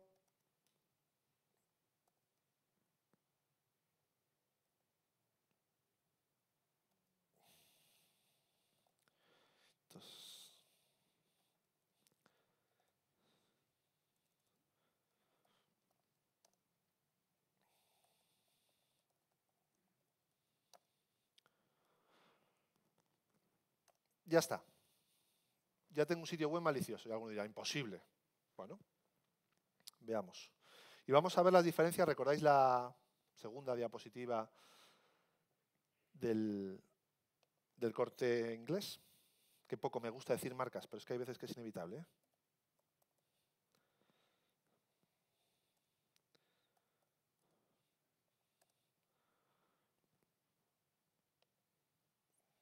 No sé si veis. Vale, ahora vamos a poner el sitio original.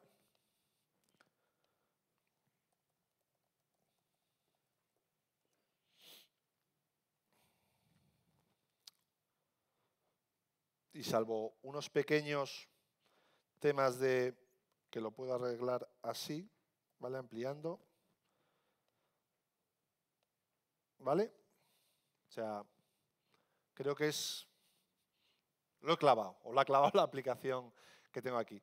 ¿Vale? Pero no solo, o sea, alguno puede decir, joder, pero es que hay picar aquí, tiene la dirección IP ahí arriba. Bueno, pues lo puedo sofisticar un poco más y haciéndome con el control del DNS, incluso mm, entrando en el ordenador del usuario para que, bueno, en fin, cosas técnicas. ¿Vale? Este sigue siendo el sitio malicioso, pero ya no tiene la IP, tiene un nombre de dominio un poco más creíble, que es muy habitual que se utilicen las técnicas de utilización de subdominios con un dominio principal, ¿vale? Porque nosotros tenemos la tendencia de leer de izquierda a derecha, ¿vale? Entonces, nosotros cuando hacemos una página así, y yo siempre pongo de ejemplo a mi madre, la pobre tiene que silbar los oídos, eh, mi madre caería aquí como una bendita, pero no caería solo aquí, sino que yo si a mi madre le mando un enlace dentro de un documento Word o dentro de un archivo o de un correo electrónico con texto enriquecido, entraría también. ¿De acuerdo? Pues eso mismo que le ocurre a mi madre, le ocurren a múltiples eh, usuarios de Internet eh, que, que, tienen pymes o que, no, o que no las tienen. Luego, lo bonito de esto es, pues eso, meter las credenciales y ver qué es lo que pasa.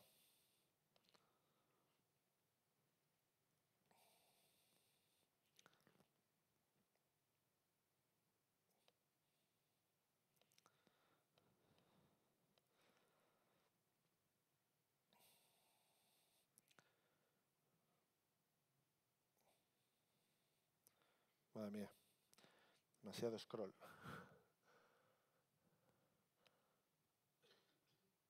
Bueno, fijaros también lo que, lo que ha ocurrido una vez que yo he metido las credenciales. Directamente me ha redirigido a la página legítima de Facebook. Vale, pero voy a repetir porque esto está demasiado grande.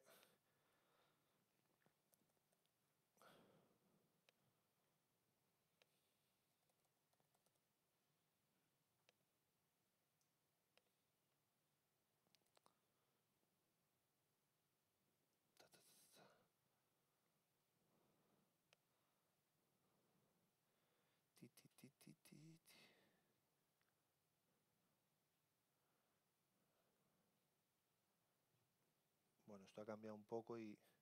El caso, si nos ponemos a cacharrear por el, por el código que ha capturado la, la aplicación, por aquí en algún momento encontraremos el usuario y la contraseña.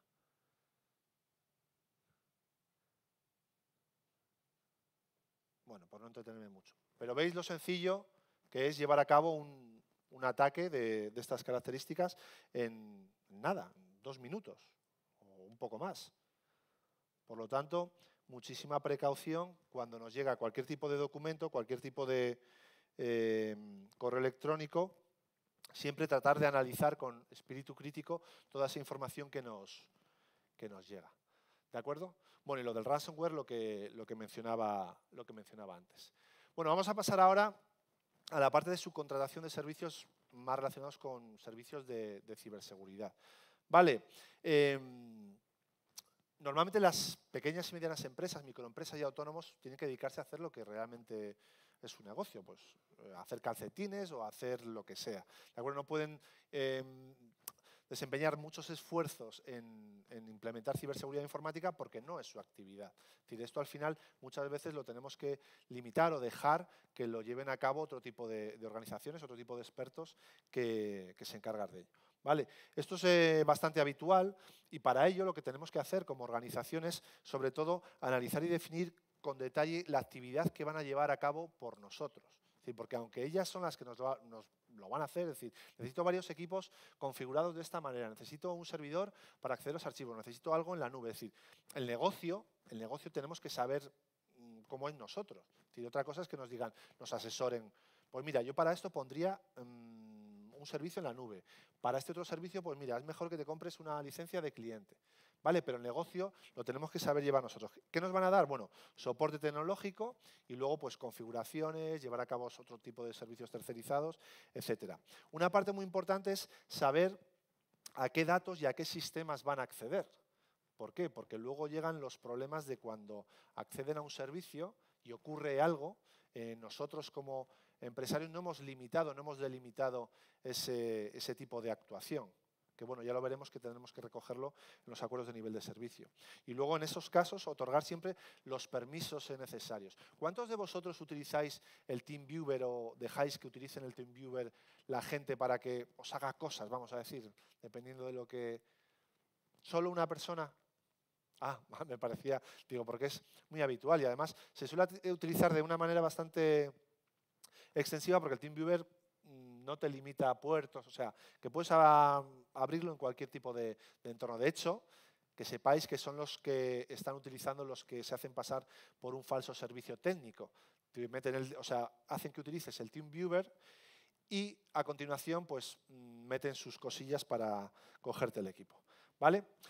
Luego, del mismo modo que eh, muchas veces cuando vamos a mirar un restaurante o vamos a mirar un hotel o vamos a mirar unas vacaciones, eh, cuando vayamos a, contratar un proveedor, sería muy interesante o casi casi muy sano el llevar a cabo un estudio sobre el mismo. ¿Vale? Pues ¿para qué? Bueno, pues para ver si tiene la reputación necesaria eh, para contratarlo. Decir, si vamos a comer a un restaurante, lo miramos en el, como dice mi, mi padre, en el trip avisador en vez de en el TripAdvisor. Y sin embargo, cuando vamos a contratar un servicio que nuestro negocio va a depender en muchas ocasiones de la buena marcha del mismo, no lo miramos, pues hagámoslo, es muy sano. Saber con qué clientes ha trabajado, incluso en muchas ocasiones yo recomiendo llamarles. O sea, muchos proveedores tienen un portfolio ahí que, como suelo decir yo, el papel lo aguanta todo. Internet aguanta todavía mucho más que el papel. Pues llamemos a un proveedor y le, a un proveedor, a un cliente con los que ha trabajado y preguntémosle a ver qué tal servicio le ha dado. Luego, comprobar las condiciones del contrato. Muchas veces, si es un servicio genérico, es un contrato pues, muy genérico. Y si no, diseñemos uno ad hoc específico que nos dé respuesta a nuestras necesidades. Luego, además, pues, tener en cuenta lo que es la duración, la asistencia, las penalizaciones, ese tipo de cosas. Luego todos los acuerdos deben quedar reflejados en los acuerdos de, nivel de servicio, en los contratos y luego, por supuesto, también en los eh, acuerdos de confidencialidad. Todo va a depender del tipo de empresa que tengamos. Si somos una empresa que nos dedicamos a desarrollar patentes de algún tipo de tecnología, pues evidentemente los acuerdos de confidencialidad eh, tendrán un papel muy importante. En este sentido, eh, en los contratos lo que tiene que quedar reflejado son aquellos acuerdos a los que llegan ambas partes. En muchas ocasiones me dicen, Jolín, es que hay veces que los acuerdos eh, a los que llegamos pues no son compatibles y demás. Digo, bueno, eso dependerá del proveedor, los eh, servicios que te quiera dar y luego dependerá también de lo que tú necesites. Hay veces que, pues por ejemplo, si yo quiero contratar un servicio en la nube que me dé seguridad, no contempla, pues, por ejemplo, indemnizaciones por pérdida de datos. Digo, pues igual tienes que localizar a ese proveedor, pedirle que te haga una doc y probablemente ese servicio que te costaba X, ahora con esa necesidad, si te la hace, te va a resultar más caro, porque es un contrato que no es un contrato genérico, ¿de acuerdo? Eh, luego, en muchas ocasiones, vamos a tener que dar acceso o intercambiar información, lo que mencionaba antes. Con TeamViewer les damos acceso para que nos configuren cosas, pero hay ocasiones en las que además no vemos lo que están haciendo. Yo tengo un amigo que tiene, es mecánico dentista, tiene una máquina para eh, fresar dientes o no sé qué historias con bueno, una cosa muy rara, y cuando los técnicos de esa máquina se conectan a ese ordenador, lo que hacen es con el TeamViewer le ponen la pantalla en negro y él no ve absolutamente nada de lo que está ocurriendo en ese ordenador.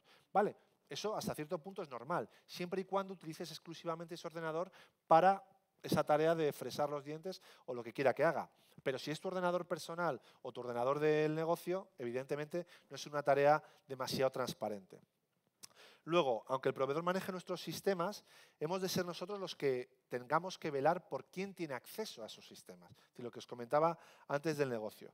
Luego, en el, en el caso de que haya un cambio de necesidades, hay que revisar los contratos. Puede ser que en un momento dado, pues imaginemos que somos una empresa farmacéutica, pero no tengamos un laboratorio de investigación, integremos un laboratorio de investigación y haya que pues, crear un contrato de confidencialidad o añadir nuevas restricciones de acceso o poner medidas adicionales porque tenemos una nueva necesidad en el negocio. Y luego, por supuesto, es muy recomendable reunirse periódicamente con el proveedor para ver si nuestras necesidades han cambiado. ¿De acuerdo? Eh, hay veces que, por lo que sea, decidimos cambiar de, proveedor. ¿vale? Habitualmente, y por mi experiencia, suele ser porque he encontrado otro más barato y que me da lo mismo, que me da lo mismo y me da más cosas por el mismo precio. ¿no? Bueno, en cualquier caso, por lo que sea y decidamos cambiar, pues tenemos que asegurarnos que el proveedor devuelve o destruye toda la información. ¿Cómo podemos asegurarnos de eso? Básicamente, casi todos los servicios en ciberseguridad se basan en la confianza.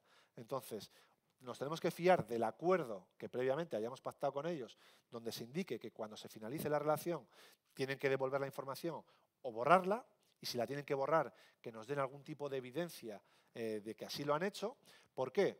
Porque si lo han hecho así y luego se produce una fuga de datos o una exfiltración de información y nosotros ya hemos finalizado la relación contractual y tenemos un papelito de ese proveedor donde nos dicen que efectivamente han destruido la información y la exfiltración se produce en el proveedor, nosotros, en principio, aunque nos va a costar dolores de cabeza, eh, exhibimos la responsabilidad.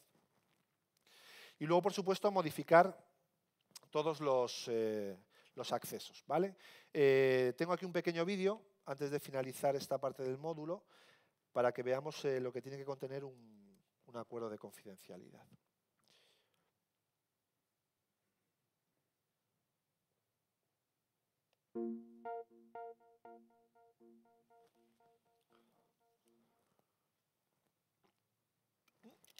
Desde la creación de nuestra em-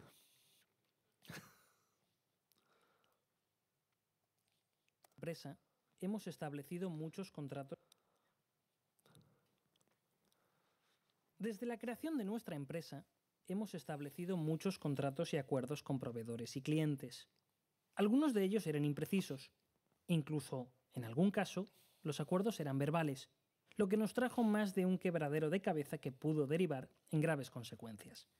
Motivados por el código deontológico de nuestra profesión, basado en valores éticos y de responsabilidad empresarial, y para mantener la buena reputación con nuestros proveedores y clientes, comenzamos a formalizar todos nuestros acuerdos.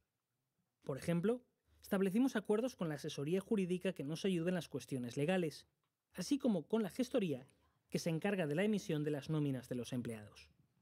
Ambas empresas acceden a información sensible de nuestra organización y, por lo tanto, era preciso que formalizáramos los acuerdos de confidencialidad y de acceso a datos sensibles. Del mismo modo, establecimos acuerdos con nuestros clientes, quienes nos facilitan información acerca de sus proyectos de inversión, para que tuvieran la garantía de que íbamos a proteger su información respetando el deber de confidencialidad. Incluso nosotros, como empleados, hemos dispuesto acuerdos de confidencialidad con la información que manejamos. A continuación, os comentamos algunas recomendaciones sobre lo que debes incluir en un acuerdo de confidencialidad en base a nuestra experiencia. La estructura y contenido de un acuerdo de confidencialidad puede variar según el caso en el que se aplique, pero por norma general cuenta con las siguientes secciones. Lugar y fecha, partes que intervienen, a qué se dedican las partes que intervienen, motivo por el que se establece el acuerdo, servicio, cláusula de confidencialidad. A continuación, describimos a qué se dedica cada una de las partes que intervienen en el acuerdo y el motivo por el que se establece el mismo. Cabe señalar la importancia de indicar claramente el servicio que quedará cubierto por el acuerdo. Por último, trataremos los aspectos de confidencialidad. El acuerdo debe incluir una descripción sobre qué información se considera confidencial. Por ejemplo, podemos considerar información confidencial los procedimientos, técnicas, diseños, dibujos, borradores, diagramas, modelos, etc., a los que tenga acceso el proveedor para la prestación del servicio. Pero esta catalogación de información dependerá del caso especial de tu empresa. Es necesario que especifiquemos en qué consiste el compromiso de confidencialidad. Habrá que concretar aspectos como uso aceptable de la información, duración del deber de secreto, medidas de seguridad a aplicar, etc. Volviendo al ejemplo que comentábamos previamente, en el acuerdo de confidencialidad establecido con nuestra asesoría jurídica indicamos que únicamente podría utilizar la información para la prestación del servicio de asesoría jurídica y no para otros fines comerciales o similares. La asesoría debe informar a sus empleados de la existencia del acuerdo y de la obligación por su parte de mantener secreto profesional respecto a la información que les facilitamos. El secreto profesional respecto a la información de nuestra empresa se mantendrá indefinidamente incluso una vez haya finalizado la prestación del servicio. Para conseguir un buen nivel de seguridad en nuestra organización, debemos considerar cuestiones que van más allá de las medidas técnicas. En este sentido, los acuerdos de confidencialidad nos permiten regular la prestación de servicios, mejorando la seguridad de nuestra información cuando es accedida por terceras partes. Regular la prestación de servicio hoy evitará muchos problemas futuros. No lo dejes de lado.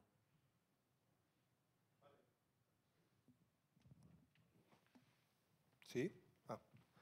Como vemos, no solo de medidas técnicas tenemos que dotar a las empresas para, para estar seguros al 100%. Es decir, muchas veces el, el, hecho de tener un buen contrato con un buen proveedor va a garantizar que en el caso de, pues, por ejemplo, una fuga de información o algo similar, pues eh, podamos eh, estar respaldados. ¿De acuerdo? Eh, Vamos a hablar eh, rápidamente del Plan Director de Seguridad de Información. Eh, nosotros siempre le llamamos o nos referimos a él como el hermano pequeño del sistema de gestión de seguridad de la información. Este Plan Director de Seguridad de la Información eh, ayuda a proteger las organizaciones en tanto en cuanto va a llevar a cabo una serie de acciones que nos van a permitir pues, implementar ciertas herramientas o ciertas medidas para tratar de poner barreras a esos incidentes que nos, que nos pueden afectar. ¿vale? Eh, ¿Cuál es el punto de partida? Bueno, lo primero, identificar el nivel de seguridad que tiene nuestra organización. Si no sabemos dónde estamos, difícilmente vamos a poder eh, elevarlo.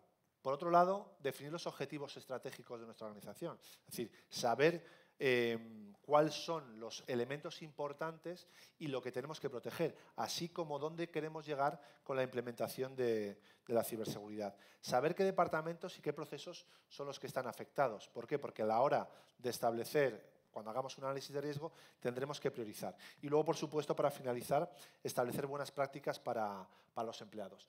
Eh, ¿Cómo se implementa el plan? No existe una manera única, ¿vale? Se trata de un ciclo de mejora continua donde nosotros tenemos que definir eh, qué cosas queremos analizar, cuáles son los procesos críticos y cómo queremos implementarlo. Lo que es más importante del plan director de seguridad es eh, llevar un seguimiento. ¿Con el plan director de seguridad ya podemos estar tranquilos? Pues evidentemente no, pero va a resultar un gran avance para la organización. Lo más importante de esto, como digo, es tratar de seguir el plan y llevar a cabo un seguimiento del mismo para ver si nuestra organización ha habido algún cambio, integrarlo en ese plan director y, tener en cuenta para, aplicar las medidas eh, pertinentes. Se trata de un proceso de mejora continua. Nos preguntan siempre las empresas, Sí, eso está muy bien, todo lo que comentáis desde INCIBE, pero ¿cómo puedo empezar? ¿Cómo lo implemento? Bueno, pues hemos desarrollado una herramienta eh, gratuita, todo lo que ofrecemos en INCIBE es gratuito, que es la herramienta de autodiagnóstico, que a través de las cinco tecnologías que más se utilizan en las pymes y que nosotros hemos determinado que son las que, pues a través de diferentes análisis, eh, pues pueden ver en qué nivel de riesgo se encuentran y luego además obtener eh, recomendaciones para tratar de mitigarlo. ¿De acuerdo? Vamos a hacer ahora un breve descanso. Vamos a responder también alguna pregunta que nos ha hecho la gente del streaming y luego hacemos una pequeña demo cuando retomemos acerca de la herramienta de autodiagnóstico.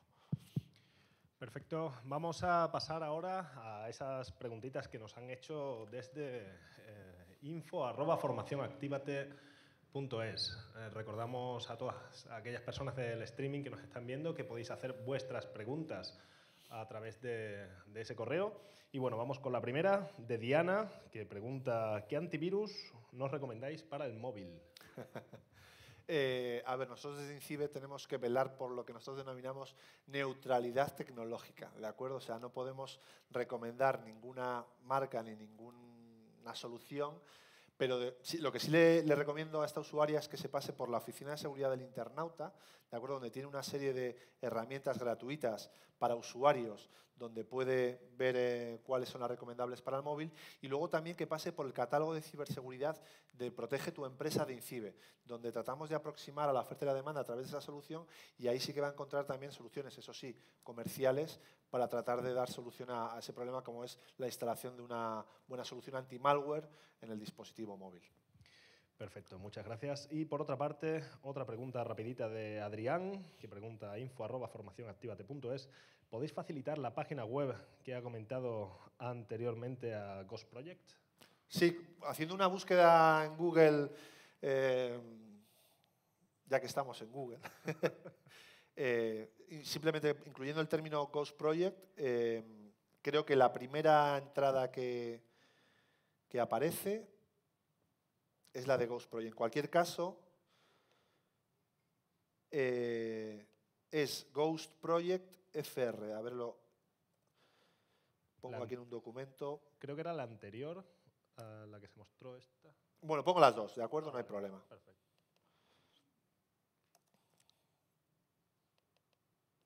La que nos indica los caracteres o si la contraseña ha sido descubierta o parcialmente descubierta es esta, y la que nos indica si el correo electrónico se ha visto involucrado en algún tipo de fuga de información o leak es esta otra.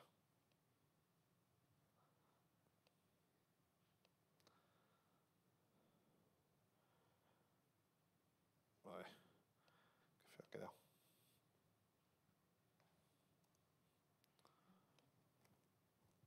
Vale, perfecto. Pues muchísimas gracias. Ahora, si os parece, vamos a hacer un pequeño descanso, 10 minutitos, eh, un cafelito, un bocadito, y en 10 minutitos volvemos a empezar con esta segunda parte. Muchas gracias. Gracias.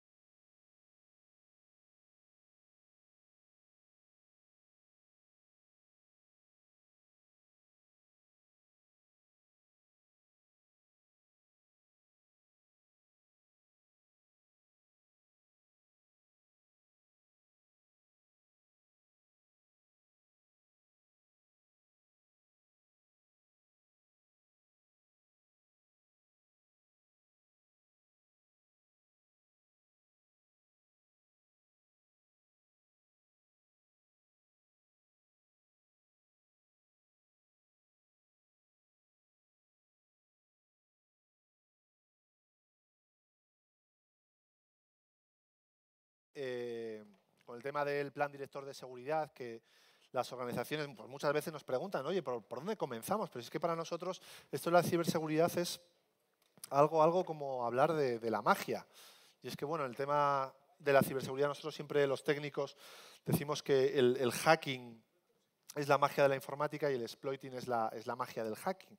Pero para alguien que no está relacionado o que eh, no está en el mundo de las tecnologías, pues evidentemente todo este tipo de cosas pues hay veces que les queda grande. Nosotros desde INCIBE, para este público que necesita tanto mimo y que necesita además que les aportemos los contenidos de una manera que sea muy comprensible para, para ellos, porque realmente, o sea, en las organizaciones, las empresas, o sea, hablarles en términos técnicos no les aporta nada, para eso ya tienen el servicio de informática. Pero si queremos, por ejemplo, eh, que lleven a cabo una evaluación de riesgos o saber cómo implementar el plan director de seguridad, pues les proponemos una serie de servicios muy interesantes para que comiencen desde, o sea, desde cero, es decir, que no tengan mucho conocimiento en relación a la ciberseguridad. Una de esas herramientas, uno de esos servicios que nosotros proponemos es la herramienta de autodiagnóstico de, de INCIBE. ¿Vale? Vamos a hacer una pequeña demo súper súper rápida, en cinco minutos, en la que yo voy a hacerme pasar por, por una pyme. Os pido que no me tiréis ninguna piedra, ninguna moneda ni nada si hago alguna tontería, pero yo las respuestas que voy a dar van a estar basadas en lo que a mí me han contestado muchas veces las microempresas y los autónomos. ¿De acuerdo? Algunos, si tiene especial interés, puede llevar a cabo este análisis a través de su smartphone, ¿de acuerdo? La dirección para acceder a la herramienta de autodiagnóstico es eh, muy sencilla, es ADL, adl.incibe.es. ¿Vale? Lo podéis eh, hacer a través de su smartphone. Y yo voy a calcular el riesgo de mi negocio. ¿De acuerdo? Como os digo, se basa en cinco elementos eh, o cinco tecnologías que prácticamente cualquier empresa a día de hoy utiliza, como es el correo electrónico, la página web, servidores propios, teletrabajo y dispositivos móviles o, movilidad en general. Eh, para no hacerlo muy extenso, eh, yo voy a indicar simplemente página web, correo electrónico y dispositivos móviles y comenzamos el diagnóstico. Aquí en la parte, en la parte derecha tenemos una barra que lo que va a hacer es, mientras nosotros vayamos eh, respondiendo a las cuestiones, va a ir indicándonos el porcentaje de riesgo al que está sujeto nuestra compañía. Para ello, para que sea lo más objetivo posible, tenemos que responder eh, de la manera más realista. ¿de acuerdo? No, esto es como lo de ir al médico y no contarle toda la verdad sobre lo que nos pasa. ¿vale? Tenemos que ser lo más realista. INCIBE no coge datos de ningún tipo ni, almacena información, es totalmente anónimo, pero bueno, comenzamos. ¿Cómo mantiene sus sistemas informáticos al día?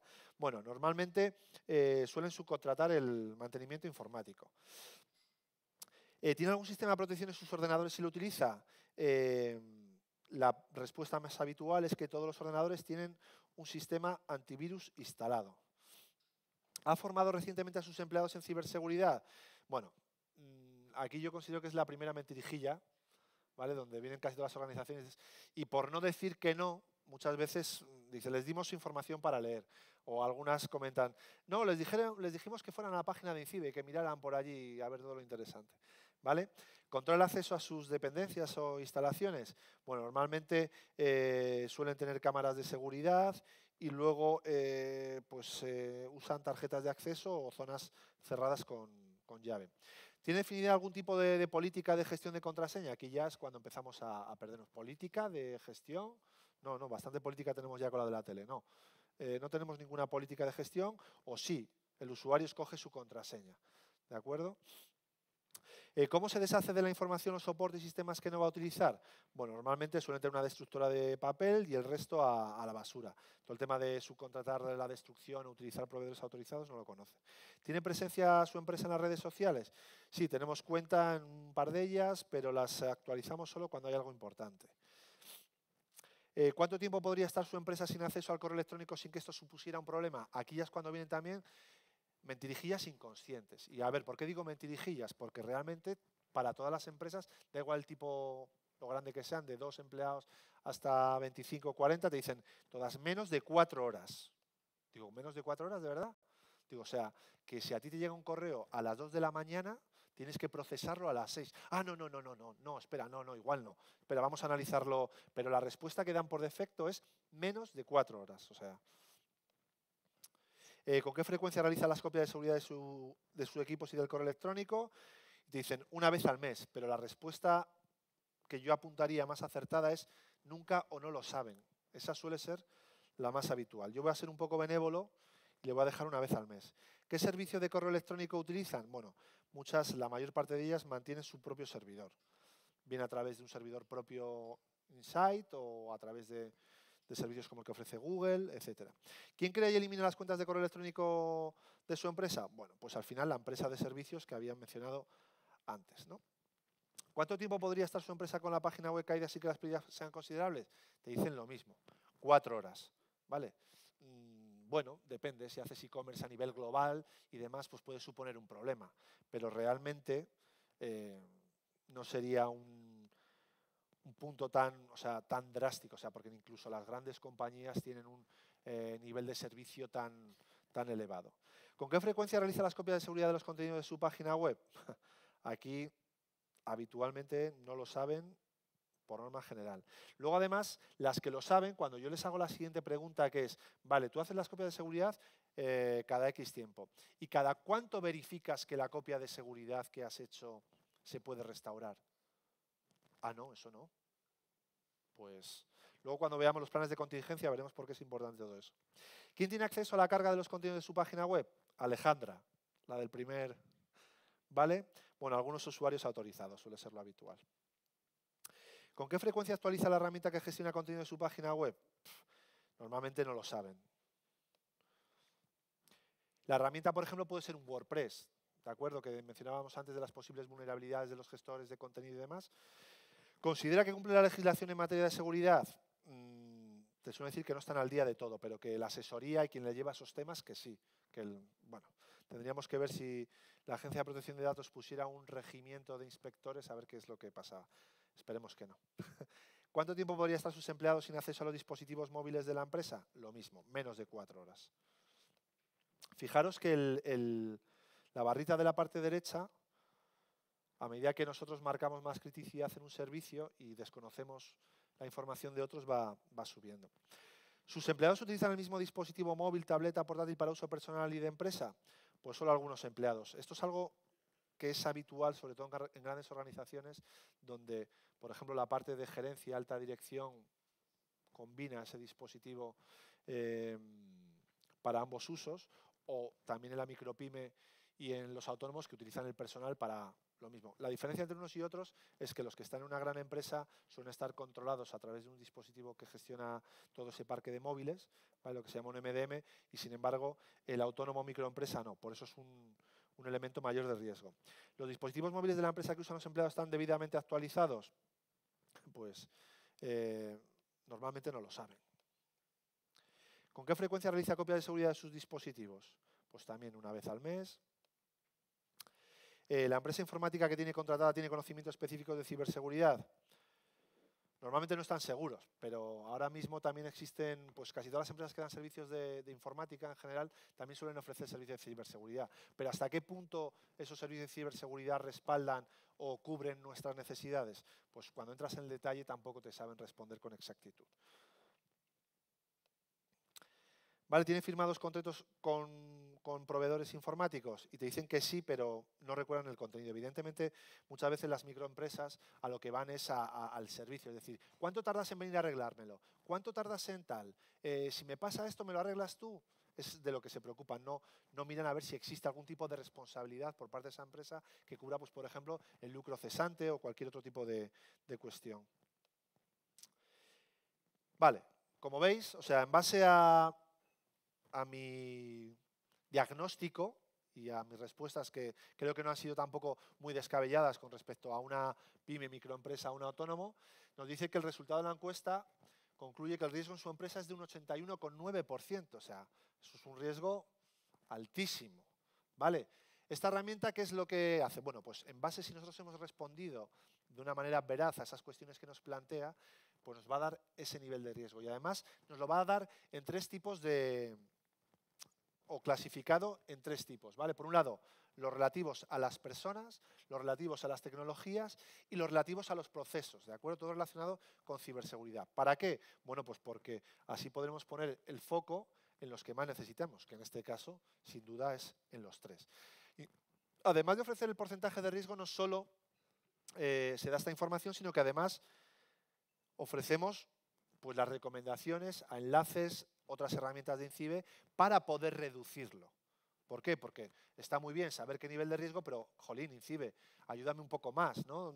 Dime cómo puedo bajar ese nivel de riesgo. A partir de ahí, nosotros lo que hacemos es llevarles a otro tipo de servicios que tenemos, como es el que te interesa, que es una serie de servicios eh, monotemáticos que recogen prácticamente todas las necesidades casi de cualquier organización y a partir de ahí, bueno, pues ya lo veremos eh, al final de la exposición porque son, son muchísimas las cosas que podemos ofrecer a las, a las pymes, microempresas y, y autónomos. Vale. Bueno, Vamos a ver ahora en qué consiste la protección de, elementos básicos. Algunos van a ser de, perogrullo, ¿vale? como puede ser el puesto, el puesto de trabajo. Muchas ocasiones, nosotros cuando hacemos el análisis del puesto de trabajo, pues lo típico que nos esperamos encontrar es el, el POSIT este con las contraseñas pegado en el monitor, es decir, esas contraseñas que se ven. Es cierto que cada vez lo, vemos menos, ya no, la gente no, no los pega, pero si empiezas a levantar la alfombrilla, abrir cajones, le das la vuelta al teclado, la peana del monitor, empiezas a encontrar cosas por ahí. Es decir, que todavía esa cultura de utilizar un gestor de contraseñas o una herramienta que nos ayude, todavía nos estila. Luego, también muchas veces encuentras eh, el puesto de trabajo, ya no tanto si trabajamos eh, fuera de cara al público, es decir, en sitios relativamente controlados, pero en algún lugar nos hemos encontrado que de cara al público, por ejemplo, administraciones públicas o empresas, tienen pues los smartphones, dispositivos USB, discos duros, encima de la mesa que pues cogerá así, te lo lleva así, quedará grabado por alguna cámara o algo, pero como suelen decir, que me, que me busquen. Luego, lo mismo con la información confidencial, ¿vale? Tenemos la información confidencial encima de la mesa y yo no me preocupo mucho por mirar, no soy nada stalker, pero puede haber gente que se dedique a mirar si hacéis una búsqueda a través de esa persona que nombré antes, de Kevin Mitnick, ¿vale? Este tipo que se dedicaba a colarse en los sistemas en los años 70 y 80, utilizaba mucho este tipo de técnicas. Se hacía pasar por alguien, iba allí, miraba, miraba documentos, miraba información. ¿Para qué? Para recoger toda esa información adicional y tratar de llevar a cabo ataques un poco más, más sofisticados. Y luego, por otro lado, en el puesto de trabajo también encontramos pues la destrucción de documentos. Hablaremos de ello un poco más en detalle, pero es muy habitual que por comodidad, pues yo que sé, documentos eh, de nivel interno o con información de tipo interno, no los destruyamos en la destructora de papel, que es lo habitual, pero por comodidad cogemos y lo tiramos en la, en la papelera. Esas son algunas de las cuestiones eh, muy básicas. Pero bueno, empecemos por la, por la esencial, ¿de acuerdo? Las contraseñas.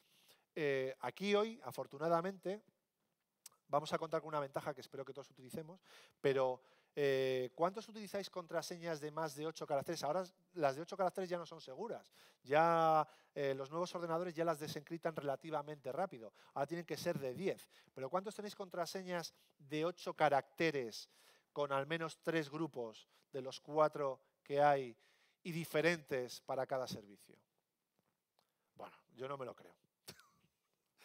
o sea, he visto mucho, o sea, ¿De verdad que tenéis contraseñas de ocho caracteres o más con al menos tres dos grupos y una contraseña para cada servicio? Vale. De todos los que habéis levantado, levantad la mano, por favor. Levantadla, levantadla. Las quiero ver, ¿eh? Las quiero ver. Quietos ahí, quietos ahí, quietos ahí. Ahora, ahora quiero que de los que habéis levantado la mano, que sois usuarios, vamos a decirlo aventajados o, de los buenos, ¿cuántos utilizáis gestor de contraseñas para todo eso? Vale, pues ahora quiero que me expliquéis cómo lo hacéis. Uno solo, bien. quiero que me expliquéis cómo, las, cómo lo hacéis, cómo las almacenáis, cómo las guardáis. Eso es un gestor de contraseñas. Pero los que no tienen gestor de contraseñas. Memorizado, papel, ese es bueno. Papel también. Bueno, pero eso no es papel. Eso es como yo me he montado mi propio gestor de contraseñas y, ¿sabes? O sea, me he buscado una solución que es, pero por ejemplo, necesitas esa contraseña que la tienes eh, en un TXT, digamos, eh, y la tienes cifrada con, con un zip o incluso con un TrueCrypt, Veracrypt o alguna herramienta de ese tipo. Vale, resulta que ese archivo cifrado eh, se te olvida aquí y lo tienes que utilizar en otro sitio. ¿Cómo usarías las contraseñas que tienes almacenadas ahí? Entonces no te hace falta el... Vale.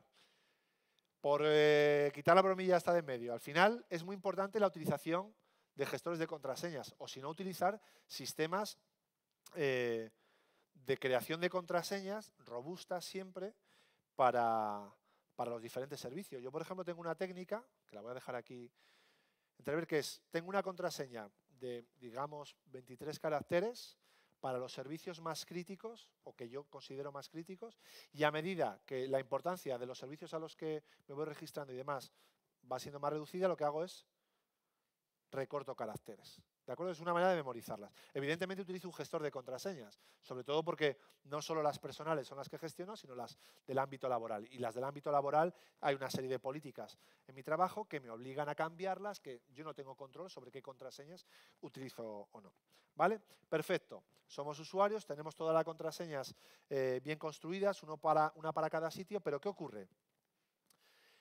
Que yo por muy buena contraseña que tenga, si de repente me envían un correo de phishing y la meto dentro, no identifico el correo que es un phishing, la meto dentro, me da igual que sea la mejor contraseña del mundo. ¿Vale? ¿Cómo paliamos esto? Pues evidentemente con la utilización del doble factor de autenticación. A día de hoy es esencial, independientemente de todas las recomendaciones y buenas prácticas asociadas a contraseñas que todo el mundo yo creo que conoce ya eh, de manera extensiva, es decir, la utilización del doble factor de autenticación es esencial, ¿vale? En la modalidad que queramos, ¿de acuerdo? En la modalidad de utilizar un authenticator como el que nos ofrece Google, a través de las llaves Titan que a partir de hoy todos vamos a utilizar de manera extensiva, ¿vale? Eh, a través de SMS, cualquier servicio que provea la posibilidad de utilizar el doble factor de autenticación, utilicémoslo, por favor, porque os puedo asegurar que es la única manera que tendremos casi, casi, o sea, la barrera implementada entre el ciberdelincuente y nosotros. Y os voy a contar una anécdota que me pasó a mí hace dos años. Yo estaba sentado unas navidades, me acuerdo perfectamente, intentando dormir la siesta en mi sofá, cuando de repente me llega un SMS. Digo, a ver, según cojo el SMS, y miro y dice, este es el, la clave, bueno, el código, no recuerdo cómo es el mensaje, dice, para su cuenta de Gmail, tal, digo, ¡pum! Me levanté como un muelle.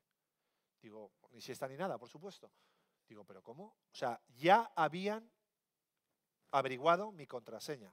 Claro, me metí en la cuenta, a cambiar la contraseña rápidamente, ta, ta, ta, y cuando veo en la cuenta de recuperación de Google, porque yo tengo muchísimas cuentas de Google. No es que sean las mejores, pero a mí me gusta mucho.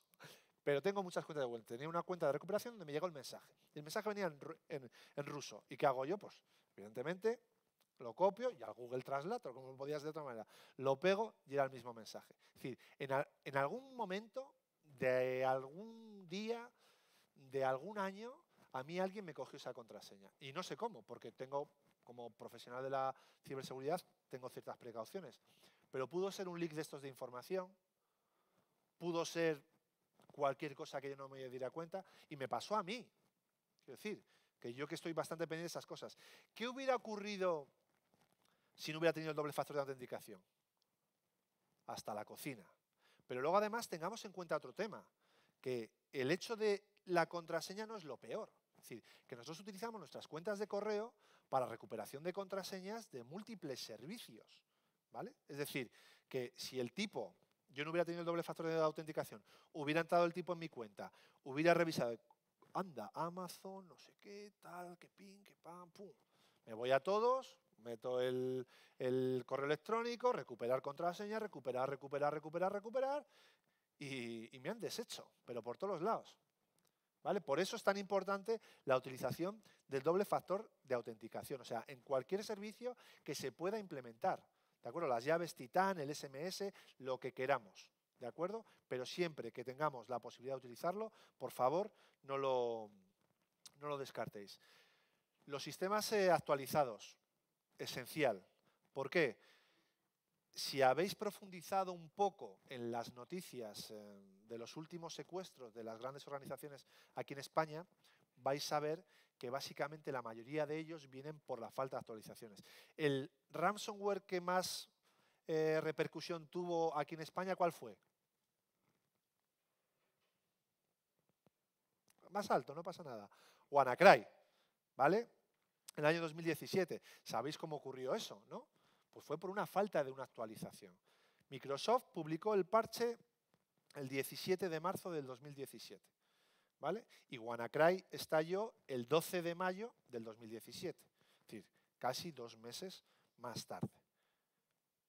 No tiene mucha lógica si nos ponemos a, pensar. decir, o sea, sale un parche, eh, no lo aplico, lo dejo abierto y luego me pasa lo que me pasa. Pues a veces que dices, te mereces eso. No, en realidad no. Pero sí que es cierto que muchas veces, lo que comentaba al principio, la entrega de actualizaciones en las grandes organizaciones no es sencillo, pero tendría que aplicarse algo que impidiera que eso se pudiera explotar de una manera externa, como así fue. ¿De acuerdo? Por eso es tan importante el aplicar las actualizaciones no solo en los ordenadores, sino en cualquier tipo de dispositivo. Porque esa actualización que no hemos aplicado, que hemos dejado para después, para ya veré, para más adelante, puede provocarnos serios problemas. Y es que estamos desde INCIBE, todos los incidentes relacionados con el ransomware Emotet y Ryuk, que son los más críticos de los últimos meses están relacionados por una falta de actualizaciones, es decir, sistemas que no han sido actualizados. Yo hace no mucho, hace un año y pico, me encontré haciendo una auditoría en un, en un lugar donde todavía vi muchos Windows XP y yo lo entiendo que exista eso.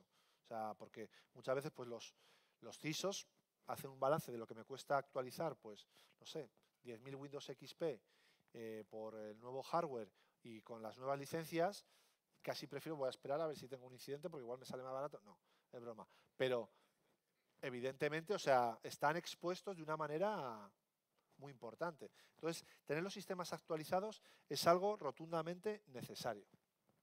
Luego, las aplicaciones seguras. ¿Por qué hacemos hincapié en las aplicaciones seguras? Diría todo el mundo. Bueno, es que es lógico, pero es que en el mundo de la pyme, microempresa y demás, hay mucho pirateo hay pirateo, no lo podemos negar. Es decir, eh, yo he visto empresas que se dedican al, diseño, es decir, dentro de su core de negocio está, y tienen eh, la suite creative por excelencia que todo el mundo conocemos, la tienen pirateada. Ahora ya cada vez es más difícil por todo el tema de servicios en, no en la nube, pero sí esos servicios que te piden validarte contra sistemas remotos. Pero, pero sí, sí, o sea, ¿Cómo puedes tener una aplicación? A día de hoy, además, cualquiera que trate de bajarse alguna aplicación por Internet, es realmente complicado encontrarla. Yo ya ni las busco. No quiere decir que las haya buscado para piratear, ¿eh? ojo, cuidado. Eh, que no esté infectada. Prueba de ello, intentad hacer una búsqueda en un momento que tengáis eh, de asueto, descargaros alguna aplicación de pago pequeñita que supuestamente sea gratis o que venga con algún tipo de medicina, como llaman por ahí, o, o crack, subirla y vais a ver que está, subirla virus total, quiero decir, y vais a ver que está completamente infectada. O sea, de, las, de los 100 antivirus, 98 eh, os van a decir que, es una aplicación maliciosa. Con lo cual no tiene ningún sentido poner en riesgo el negocio utilizando software pirata. O sea, es que es, sería mm, lo más absurdo para, para cualquier organización. Es decir, Voy a poner en riesgo toda mi producción, todos los productos que yo genero, incluso hasta mis clientes, por instalar una aplicación pirata. Cuando a día de hoy, además, tenemos alternativas completamente gratuitas de cualquier tipo, casi casi de cualquier tipo de aplicación. Hay algunos que me dicen, no, pero yo, por ejemplo, que soy arquitecto, la aplicación eh, por excelencia de los arquitectos no, no la hay gratuita o no hay alternativa gratuita. Bueno, pues, pues sí que la hay. Yo, me enteré porque en una charla de estas me lo comentaron. Existe un, un AutoCAD free, quizás no tan potente como el, famoso AutoCAD, pero, pero algo hará. Lo mismo que para Photoshop tenemos el GIMP, lo mismo que para la suite de Microsoft, Microsoft tenemos el LibreOffice, OpenOffice, es decir, evidentemente cada historia tendrá su, su cuestión o a mí esto no me vale, este me resulta difícil de aprender. Bueno, pero tenemos alternativas que no nos tiene por qué llevar a utilizar aplicaciones inseguras. Esto también se traslada al mundo de los smartphones, las tablets y demás.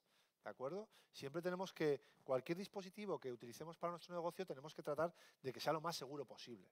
Y pasa por, sobre todo por tener software eh, completamente legítimo. En muchas ocasiones ya, de hecho, hay veces que sin querer lo tenemos, nos la, por decirlo de alguna manera, nos la cuelan. Es decir, que en muchos markets aparecen aplicaciones eh, maliciosas. Si ya las instalamos nosotros conscientemente, no tiene, no tiene ningún sentido. En ese sentido, por ejemplo, desde Incibe también tenemos una herramienta que se llama Conan Mobile para todos los dispositivos Android, eh, que es no es una herramienta eh, antivirus, anti-malware, sino que es una herramienta que evalúa la seguridad de, nuestro dispositivo Android. ¿Por qué? Bueno, pues precisamente por esto, porque hay aplicaciones maliciosas en algunos markets que las suben, porque hay personas que se instalan aplicaciones maliciosas y no lo saben, porque hay configuraciones inseguras del dispositivo y se da una aplicación muy interesante y que evalúa la seguridad de, los sistemas operativos eh, Android, de los smartphones. ¿Vale? Bueno, pasamos ahora a la información portátil, a los USBs, discos, smartphone. Aquí siempre hago un especial perdón, hincapié en sobre todo aquellas personas o aquellas empresas que trabajan con información delicada. Y delicada, me refiero, pues, por ejemplo, eh, colegios. ¿vale? Los colegios muchas veces, mm, los profesores tienen en su USB la ficha de todos los niños y en algunas fichas pues viene que el niño es celíaco, que otro niño es intolerante a no sé qué, y los profesores no se dan cuenta de que esa información es de mayor, de, del más alto nivel que la LOPD GDD tiene catalogado y la llevan sin cifrar en el dispositivo. No le dan mucha importancia, pero ¿qué quiere decir eso? Que si a alguien se le pierde, a un profesor se le pierde un dispositivo con esa información y alguien lo hace público por lo que sea, simplemente por dejar en evidencia a ese colegio o a las malas prácticas que, se están llevando a cabo en términos de protección de datos, pues al colegio se les va, bueno, les va a caer una colleja si no les cae algo más, ¿de acuerdo? Con lo fácil y lo sencillo que sería cifrar ese dispositivo. Existen herramientas que las puedes instalar en el propio USB, en el propio disco duro y directamente utilizarlas cuando necesites descifrar o cifrar el archivo. Tan sencillo como eso. Y sin embargo, no se están utilizando. ¿Cuántos de vosotros utilizáis USBs? Todos. No hace falta que levantéis la mano. ¿Cuántos lo utilizáis de manera cifrada? Uno, dos, tres, cuatro. A medias. Bueno, a medias. Si la mitad cifrada la utilizas para los datos sensibles, lo haces muy bien. Y la otra mitad para meter allí MP3 o lo que, o lo que sea. Fijaros, han levantado la mano cuatro personas a ponernos a cifrar ya, claro, evidentemente también depende de la información que manejemos. Si nosotros las fotos de nuestros hijos o de nuestro trabajo o lo que sea no mmm, la catalogamos como información importante, pues no la ciframos. Pero si luego cualquier información de la organización, sea interna o confidencial, por supuesto que tendríamos que cifrarlo. O sea, por nuestro bien y por, por el de la organización, porque en algún caso, bueno, unos cuantos casos, eso ha supuesto despidos, ¿vale? Lo mismo ocurre con los smartphones. Eh, los iOS no, porque no tienen para meter tarjeta, ¿vale? Y, pero tanto iOS como Android se cifran por defecto, pero ¿qué ocurre con los smartphones que te permiten meter una tarjeta? Pues que salvo que la integremos con la memoria interna del teléfono, que muchos no sabemos ni cómo se hace eso, pero se puede hacer, ¿vale? La tarjeta por defecto no está cifrada. Es decir, cualquiera que eh, se encuentre en nuestro smartphone, cualquiera que nos robe nuestro smartphone, que no son no estoy diciendo ninguna barbaridad, puede acceder a la, a la, tarjeta de memoria. Y habitualmente, habitualmente, la mayor parte de los usuarios solemos dejar la tarjeta externa precisamente para almacenar todo ese contenido externo, lo que nos descargamos, las películas, las fotos, para que no nos ocupe la memoria interna del teléfono. Pero muy pocos, ¿cuántos cifráis la memoria SD del smartphone? Tres. Bueno, a los, como decía Pazo, los que hayamos visto Airbag, a los hechos me repito. En fin, tenemos que poner buenas prácticas en nuestras manos para poder evitar este tipo de, problemas. Más luego, toda la información que, que pueden extraer, porque no sé si recordáis unas prácticas que había hace un año o año y pico de gente que se dedicaba a robar móviles y demás para extraer las fotos un poco subidas de tono y publicarlas en Internet. Fijaros si, si nosotros llegamos a hacer algo de eso. Luego la web. ¿Vale? El canal de referencia que sobre todo las empresas más, las grandes por supuesto, tienen todas canal web y las pequeñas al final empezamos por, por ahí casi muchas de ellas. Es decir, la, mejor manera de promocionarte cómo es? Pues a través de un escaparate que sea lo más económico posible, como es una web en vez de una tienda física, tu oficina la tienes en tu casa o en un sitio eh, más pequeño, pero no tienes la capacidad de, de una gran empresa para hacer, pues eso, un edificio donde te pueda ver todo el mundo. Es decir, nuestra web es algo que tenemos que proteger sí o sí. ¿Por qué? Porque si nos pasa como el caso de María, ya solo por el hecho de la reputación que vamos a perder, que encima es un valor, es un intangible que no se puede muchas veces medir. De hecho, para los americanos la reputación o el valor de la empresa o, la concepción del valor de la empresa que tienen los usuarios es el- lo más caro que hay, es decir, lo más difícil de recuperar, tenemos que tenerlo. ¿Y cómo podemos proteger la web? Bueno, pues evidentemente aplicando eh, las medidas que hemos mencionado anteriormente. Es decir, si tenemos un gestor de contenidos, utilizar las actualizaciones que el propio gestor de contenidos nos, nos lo indica. Si no sabemos cómo se hace, exigírselo a ese servicio que seguramente tengamos contratados. Si no tenemos un servicio contratado, preocuparnos por ver cómo se hace, porque si nos suplantan la web o si nos la piratean o nos hacen algo en la web, nuestro escaparate se va a haber perdido. Otra de las herramientas que tenemos que, utilizar es la implementación del HTTPS, es decir, la implementación de certificados que garanticen que las transferencias o las comunicaciones entre el cliente y el servidor, es decir, la gente que se conecta a nuestra página web y el servidor, sean seguras. ¿Vale? Alguno dirá, "Pu, pues eso es que no sé ni, de, ni en qué consiste. Pues muy sencillo. Antiguamente, ahora prácticamente todos se navegan vía HTTPS, pero todavía hay algún sitio que se puede implementar sin HTTPS. ¿Qué puede ocurrir? Pues que una persona, imaginad, aquí tenemos una wifi pública, ¿vale? O por lo menos tenemos una wifi que sabemos cuál es. Hay un ciberdelincuente entre nosotros, se conecta a esa wifi. Muchos de vosotros os estáis conectando a vuestros portales de vuestras páginas web que no tenéis implementado el HTTPS. Pues esas comunicaciones entre vuestra eh, página web y vuestro portátil que están siendo eh, o se están produciendo a través de la wifi a la que el ciberdelincuente tiene acceso pueden ser descubiertas porque viajan en, por decirlo de alguna manera, sin cifrar, viajan en claro, o sea, se pueden leer. De hecho, es una práctica, o era una práctica muy habitual, el tratar de descubrir contraseñas en lugares donde había wifis públicas, como aeropuertos, hoteles, eh, cafeterías, etcétera. Ahora, afortunadamente, casi todos los proveedores de alojamiento de Internet, eh, hosting, housing y demás, nos ofrecen esta característica de manera casi gratuita o gratis. Antiguamente era un plus que había que pagar.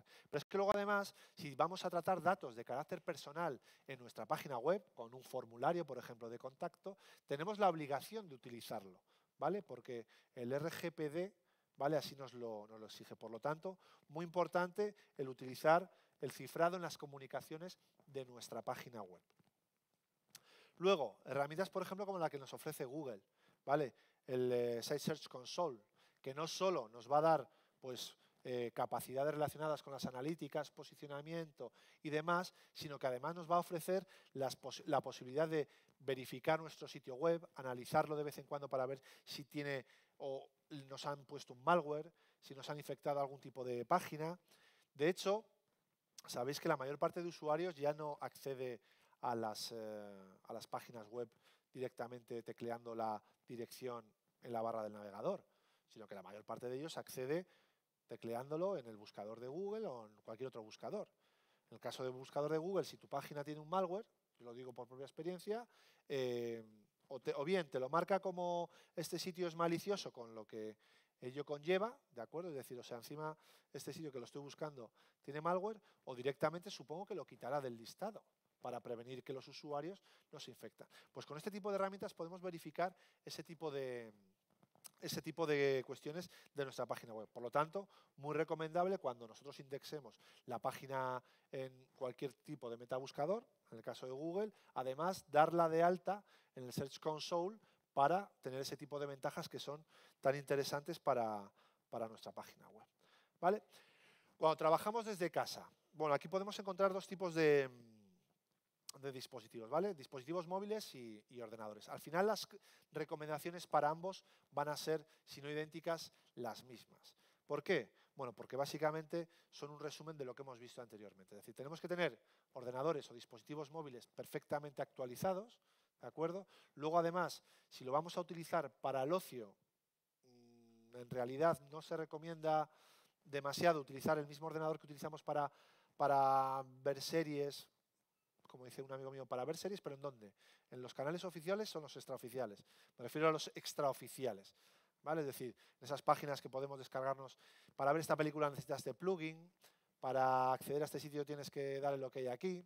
¿Vale? ¿Por qué? Porque ese tipo de páginas al final ponen en peligro ese equipo que si lo vamos a utilizar de una manera corporativa, pues evidentemente podemos comprometer cualquier tipo de eh, herramienta, archivo y demás que estemos accediendo a través de ese ordenador.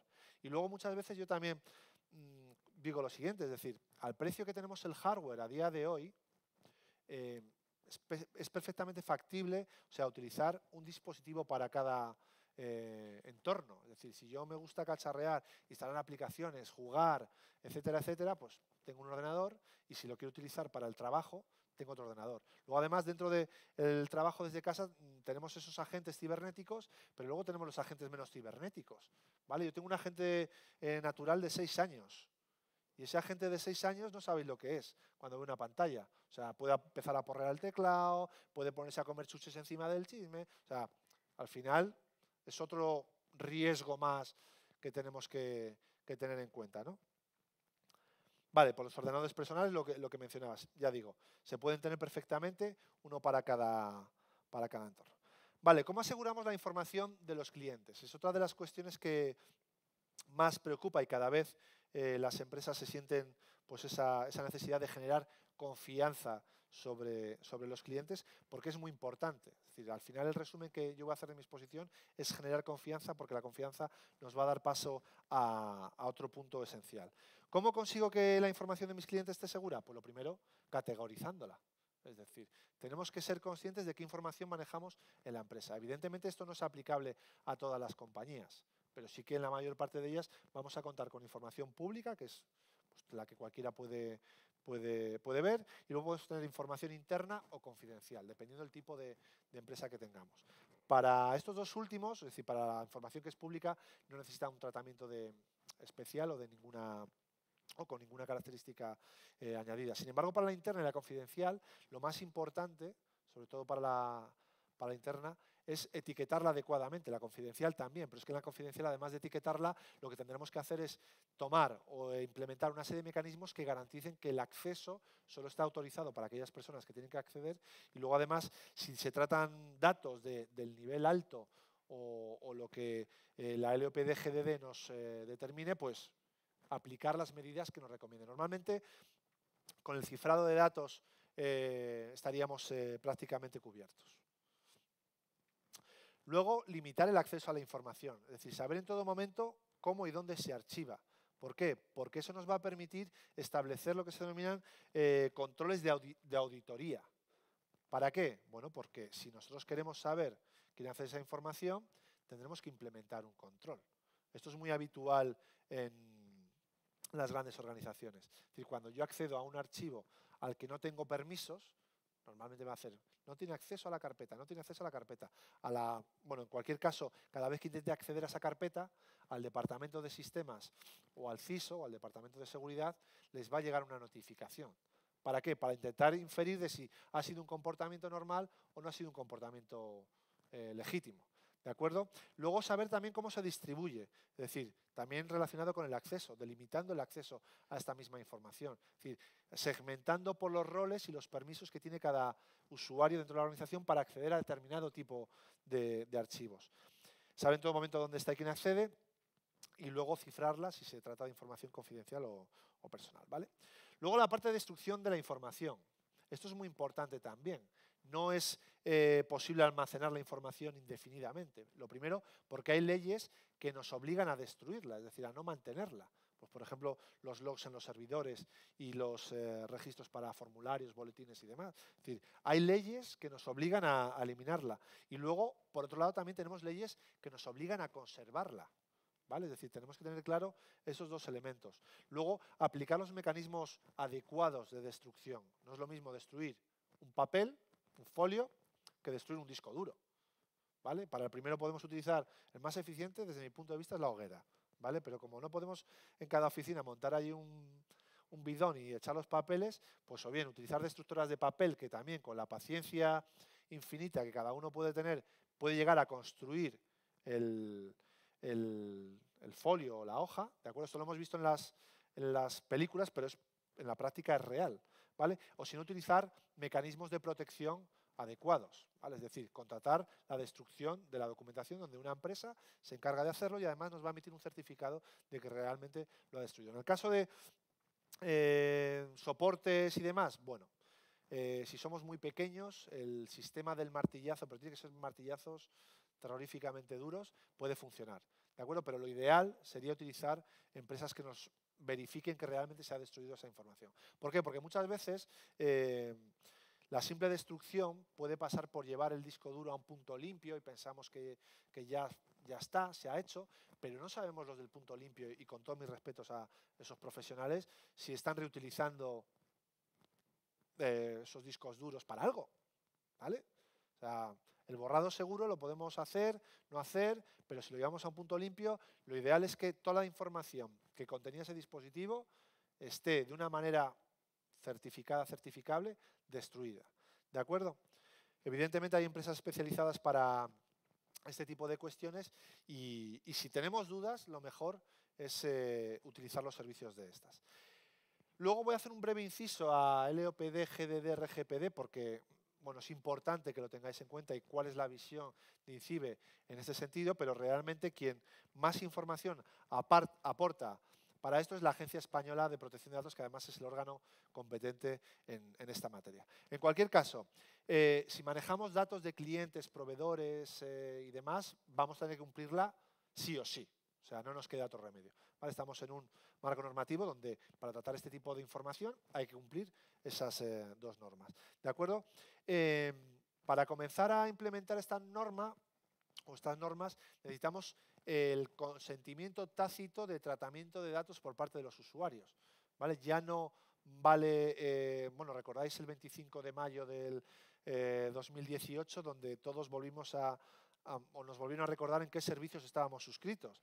¿Por qué? Porque a partir de ese momento era necesario el consentimiento tácito, expreso del usuario y las compañías a las que estábamos suscritos de aquella manera años anteriores nos volvieron a reenviar un correo solicitando eh, el consentimiento. No sé si lo recordáis, tuvimos unos meses ahí que fueron un poco, ah, pero yo estaba suscrito a esto. Ah, pues mira, aprovecho y ya no...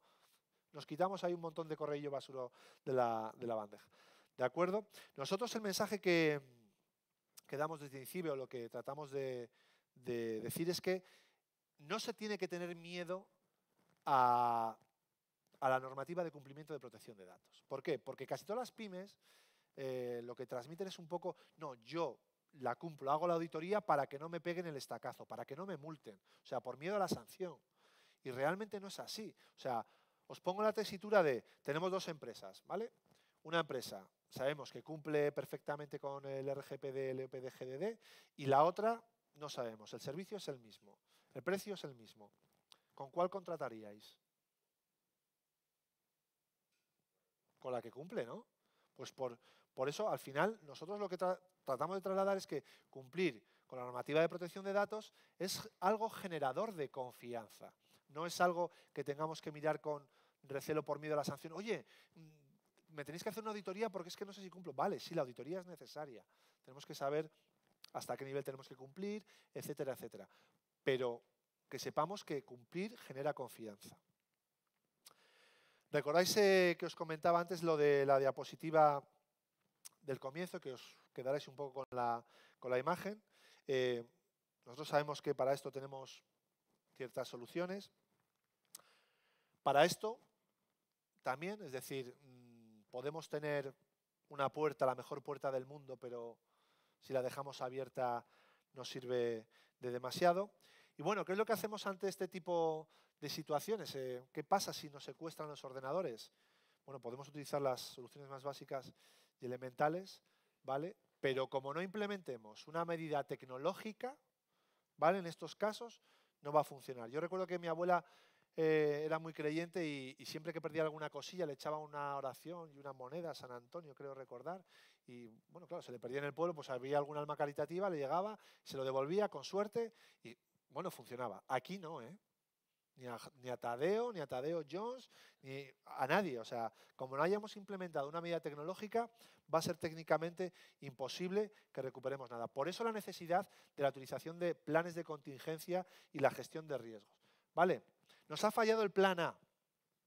¿Vale? Que el plan A pues, es la actividad normal, la alegría festivalera que tenemos todos los días trabajando en nuestra organización.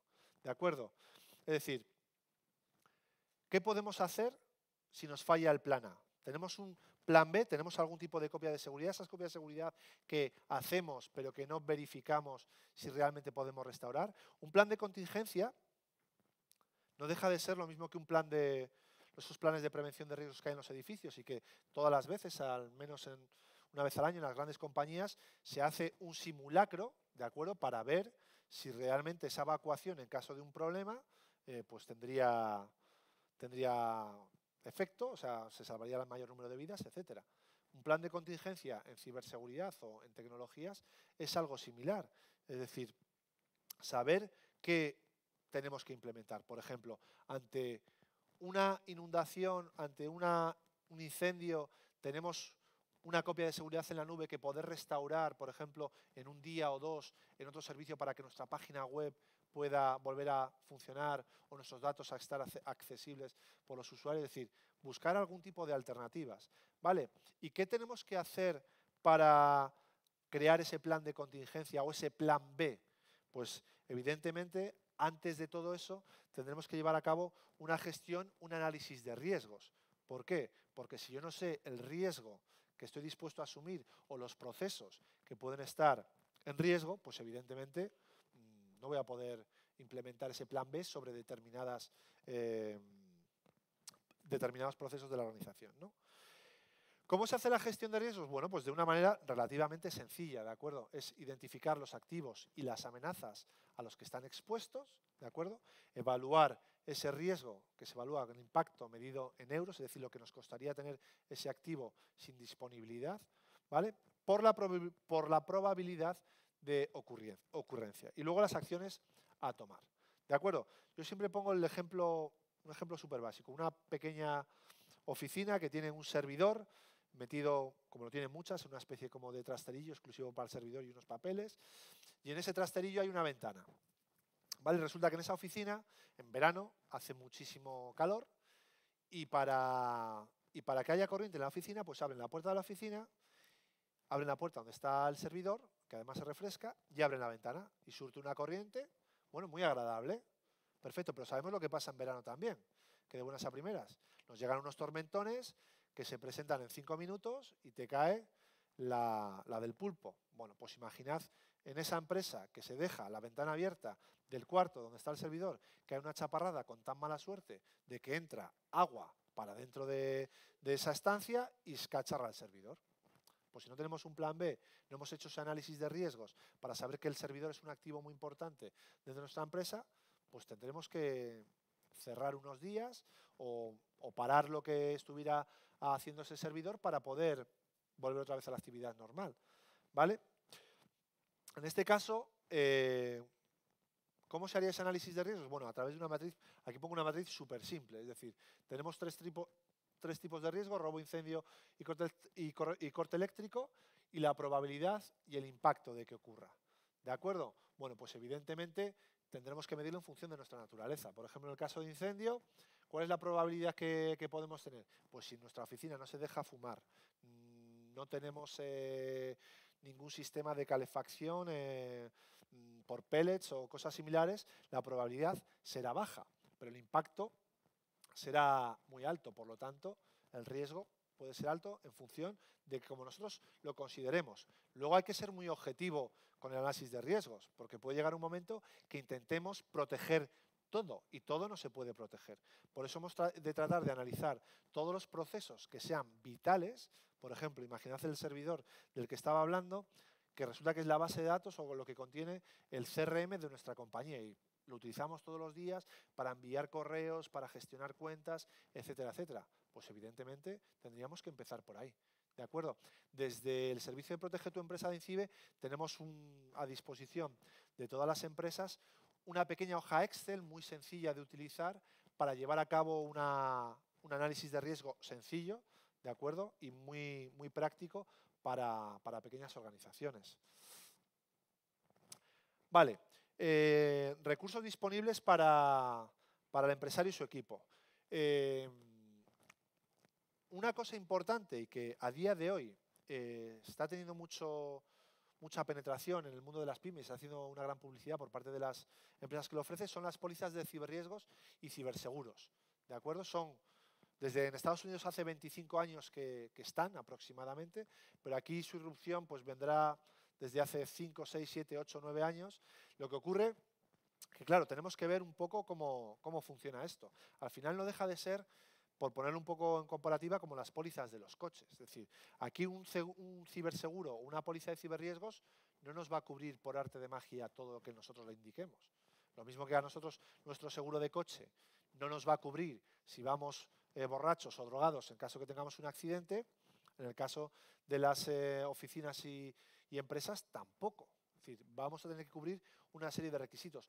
¿Para qué están muy bien de momento? Bueno, sobre todo para eh, todo aquello relacionado con la responsabilidad civil, en caso de que, aun cumpliendo el Reglamento General de Protección de Datos y la Ley Orgánica de Protección de Datos y Garantía de Derechos Digitales, suframos una fuga de información, ¿vale? siempre puede existir el problema de que los afectados nos demanden, aunque lo estemos cumpliendo, ¿de acuerdo? Pues una póliza de ciberriesgos, por ejemplo, cubriría eh, toda la responsabilidad civil en ese caso. Pero también cada vez eh, año tras año van ofreciendo servicios adicionales. Pues, por ejemplo, auditorías de seguridad web, eh, auditorías de cumplimiento normativo, incluso cláusulas adicionales que nosotros podamos ir añadiendo. Muchas veces no se trata de un servicio nuevo, sino que se trata de un seguro que podemos ir añadiendo o una adenda que podemos ir añadiendo a nuestro propio seguro convencional. Como resumen en este sentido, ¿vale? Decir que confianza, confianza, confianza, es decir, si nosotros eh, implementamos ciberseguridad, al final la recompensa es la confianza que los clientes van a tener sobre nosotros. Y esa confianza al final se traduce en negocio. No nos queda, no nos queda otra.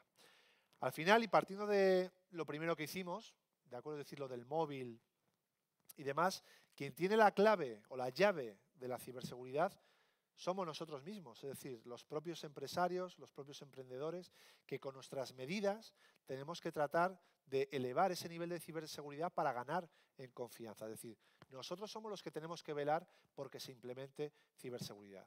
Y si no somos capaces o no tenemos conocimiento, para eso ya está INCIBE, que os puede ayudar con lo que os voy a comentar ahora. ¿Cuál es nuestro día a día en INCIBE? Bueno, nuestro día a día es terrible. Tenemos hoy la fortuna de que nos acompañe eh, la gerente de servicios de ciberseguridad para empresas, industria e investigación, desarrollo e innovación.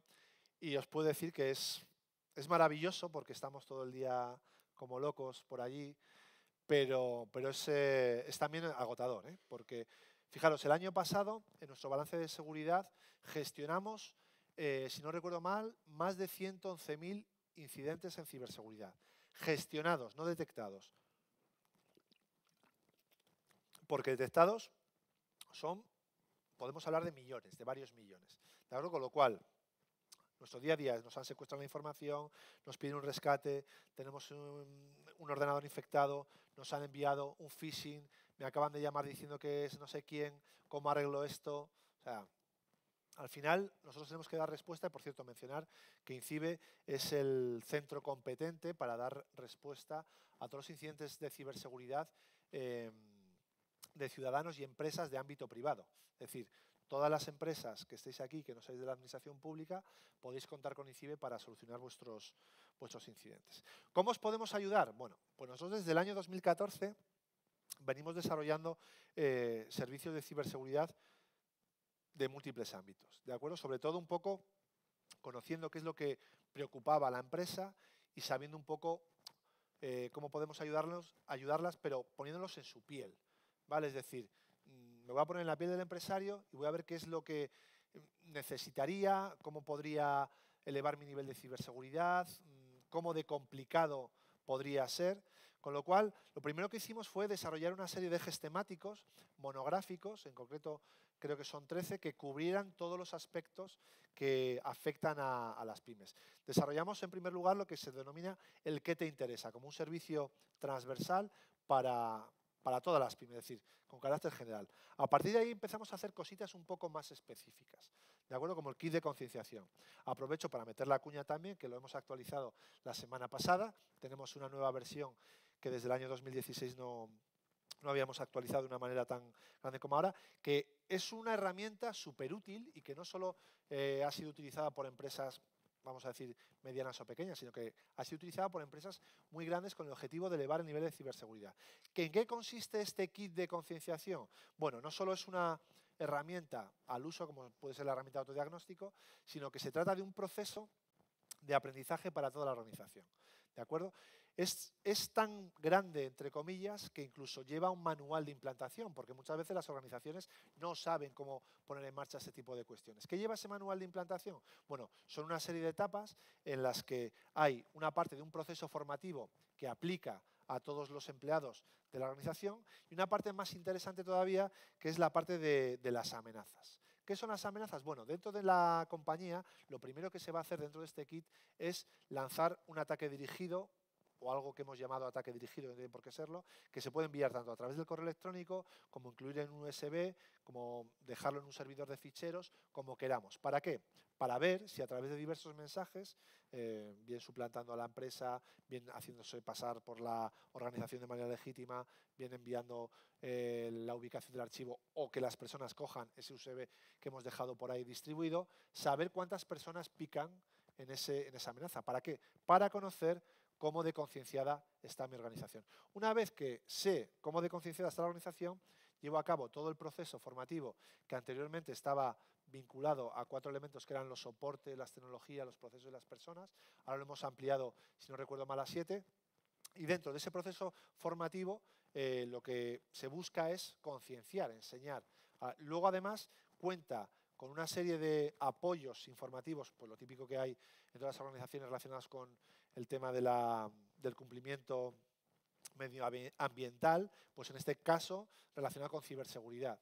Y luego, para finalizar, además, se vuelve a lanzar otra vez dentro de ese, de ese plan de implantación la amenaza dirigida que habíamos lanzado inicialmente. ¿Para qué? Para ver si realmente ese proceso formativo y de concienciación que hemos llevado a cabo ha reducido y ha mitigado el problema.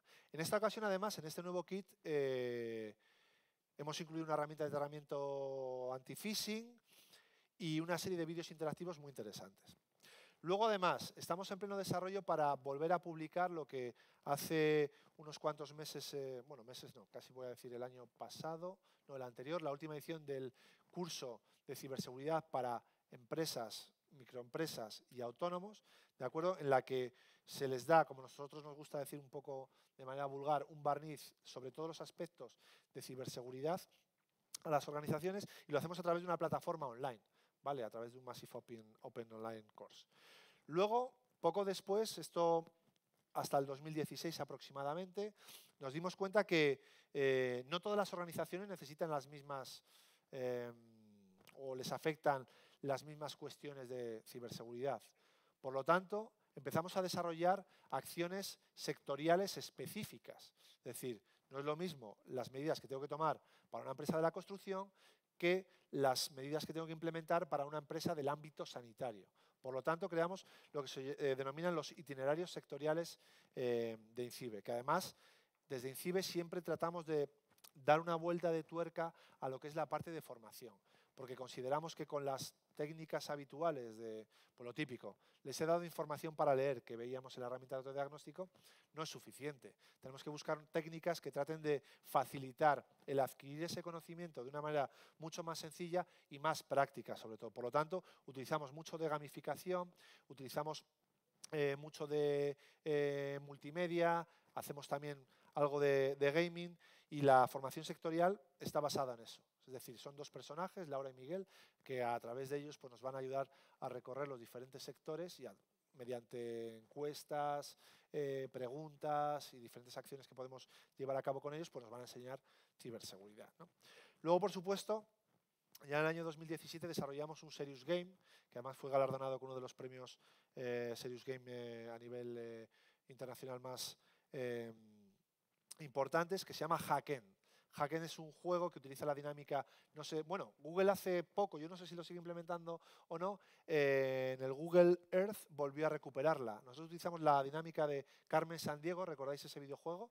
Un videojuego que persiguiendo a una delincuente te enseñaba geografía. Bueno, aquí la dinámica es la misma.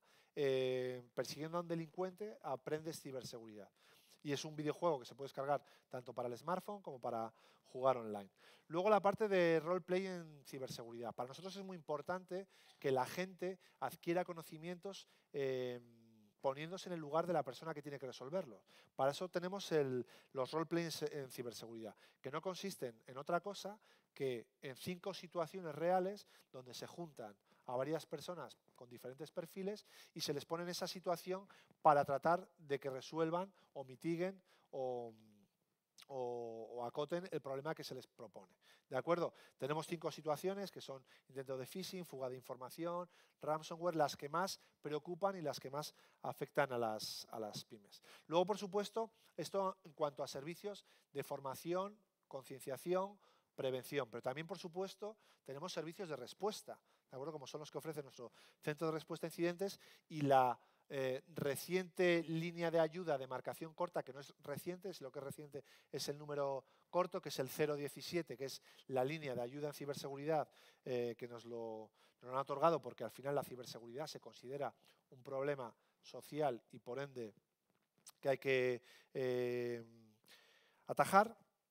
Y bueno, y os invito a que accedáis a, la página de, incibe.es, a la sección de Protege tu empresa para que veáis toda la cantidad de servicios que tenemos. Podríamos estar hablando toda la mañana de, las bondades que nos ofrece esa página. Todos los servicios son completamente gratuitos y mencionar que de aquí a dos años tendremos nuevos servicios mucho más interesantes, eh, mucho más eh, prácticos y sobre todo dirigidos específicamente al grupo de empresas que conforman el tejido industrial de este país, que son, no son otras que, las pymes, microempresas y, autónomos. De acuerdo, a través de la como digo, INCIBE, en el menú Protege tu empresa, podréis encontrar toda la información. Y luego además podemos contar con otras herramientas como, son las que nos ofrece Google, ¿de acuerdo? tiene una sección específica para aprender ciberseguridad y luego para aprender cómo luchar o cómo identificar eh, los diferentes eh, phishing. Pasamos, si queréis, aunque... ¿Qué hora es? Nos hemos adelantado un poco, ¿verdad?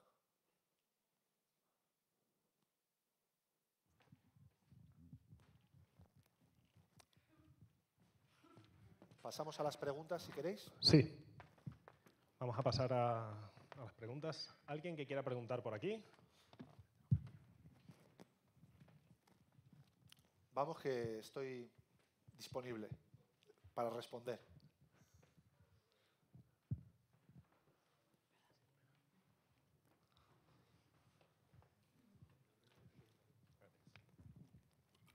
Hola, buenos días. Eh, gracias por toda la información que has compartido. Eh, mi pregunta es muy, quizás muy simple, pero disculpadme. Eh, yo cuando me compré mi primer Mac, pues claro, me preocupé por la seguridad, ¿no? Y no encontraba antivirus, ¿no? O toda la gente que ya trabajaba con otros Mac me decía, no te hace falta un antivirus y en Mac nunca pasa nada, ¿no? Y es cierto que no me pasó en la vida, durante el tiempo que yo estuve utilizando un Mac, ¿no? ¿Hay riesgos? Para los Mac. Nada más, gracias. De nada, muchas gracias.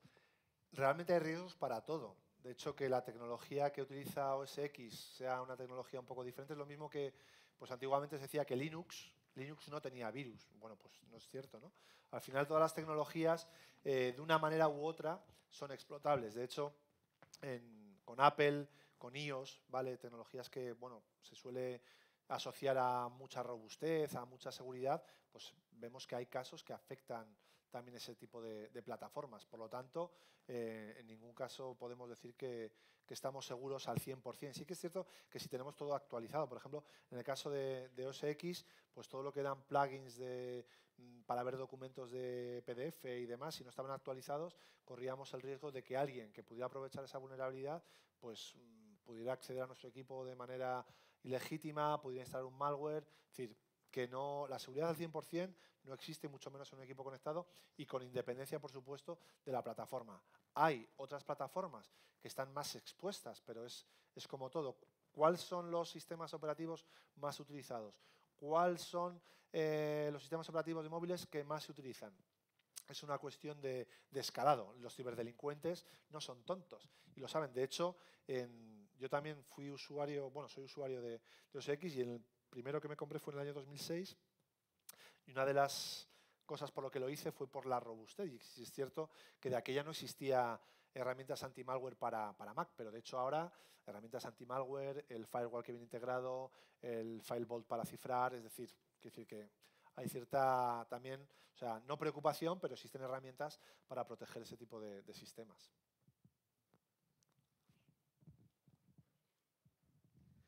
Buenos días. La pregunta es eh, sobre el tema de las blacklists. Yo tuve una... Eh, ¿De las, perdón? Blacklist. Eh, tuve una experiencia en la que al estar alojado el dominio en un, y la web en un servidor dedicado, alguien hizo lo que no debía y estaba afectado. Entonces aquello me creó una serie de problemas. ¿Cómo se puede evitar eso con un ordenador convencional, un Windows? Con sistema Windows? A ver, si tienes la página web alojada en un servidor dedicado que está en una empresa X, o sea, con tu equipo no puedes hacer absolutamente nada. Me refiero, salvo poner la reclamación o indicar a esa empresa que te da el housing el, pues las medidas que tiene que tomar, porque me refiero, tú como usuario desde tu equipo no podrías hacer absolutamente nada. Simplemente pues ver qué es lo que ha pasado, por cuál fue el motivo de poner en la, en la blacklist, spam o malware. Spam.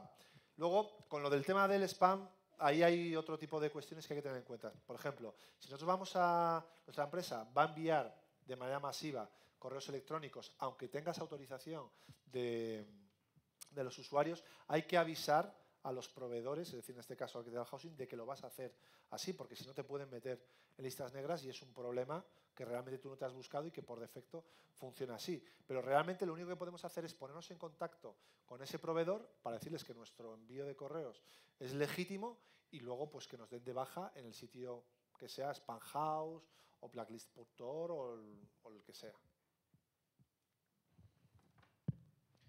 ¿Más preguntas? Aprovechar.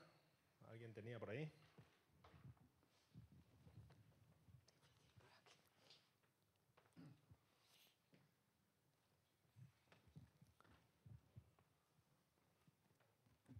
Sí, ahí hay otra. Primero. Bueno, ve tú primero. Hola, buenos días. Hola, buenos días. Eh, mi pregunta es, en caso de que haya una filtración de, una filtración de datos, se, eh, ¿quién es el responsable final? ¿El director general de la empresa? ¿El responsable de, de IT? Eh, bueno, depende cómo sea la empresa y depende de los datos que maneje. En las empresas ahora, pues suele estar la figura del DPD o el delegado de protección de datos, que es quien vela por los datos de carácter personal, por decirlo de alguna manera.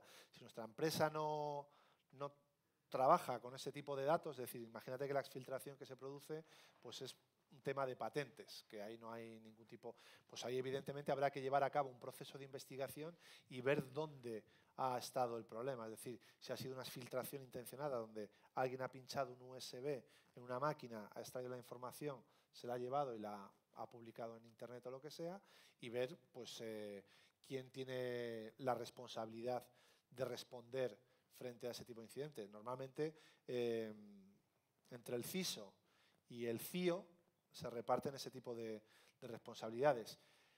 ¿Quién tiene que responder, yo qué sé, por el lucro cesante, por ese tipo de cosas? Imagino que quedará reflejado en el tema de los acuerdos, porque si yo soy un eh, CIO, vamos, al responsable de sistemas, y no tomo las eh, medidas adecuadas para que en la parte donde se desarrollan las patentes no se permitan el uso de dispositivos de extracción o usos personales cuando realmente no está permitido en toda la organización, pues ahí el marrón, perdón por la expresión, me lo, me lo voy a comer yo seguro, sí o sí. No sé si te he respondido. Sí, gracias. De nada. Hola, buenos días. Gracias por la Hola, formación. La pregunta mía es muy simple. Yo quisiera empezar a hacer lo que son para mi empresa campañas de email marketing. Eh, me han comentado que hay programas tipo MailChimp, etcétera, eh, que si tú los usas, ahí no, vas a tener, ahí no vas a tener ningún problema de que nunca te metan en spam ni nada de eso, si los usas bien. No, no, eh, te pueden meter exactamente igual. Lo que ocurre es que tú si quieres hacer email marketing, primero tienes que recabar el consentimiento de los Sí. usuarios, que eso es lo más, lo más complicado inicialmente. Entonces, eh, puedes utilizar cualquier servidor, uno propio, lo que tú quieras. Lo único que tienes que avisar es al proveedor, primero de tu nombre de dominio, que es al que lo vas a utilizar, para que ellos te metan en una lista para que sepan que tú vas a hacer ese tipo de comunicación. Porque además están muy restringidas. Me refiero que no hace falta enviar 2.000 correos. Me refiero, tú envías 200 correos en menos de un minuto y automáticamente pasas a, a una blacklist. Vale, sí que eso solo tengo que antes notificarlo previamente a mi servidor de, de correo, donde tengo la página web, para que ellos me metan ahí y que no tenga después problemas, antes de usar es. el MailChimp o cualquier otro tipo de eso. Gracias. De nada. Vale, vamos por aquí.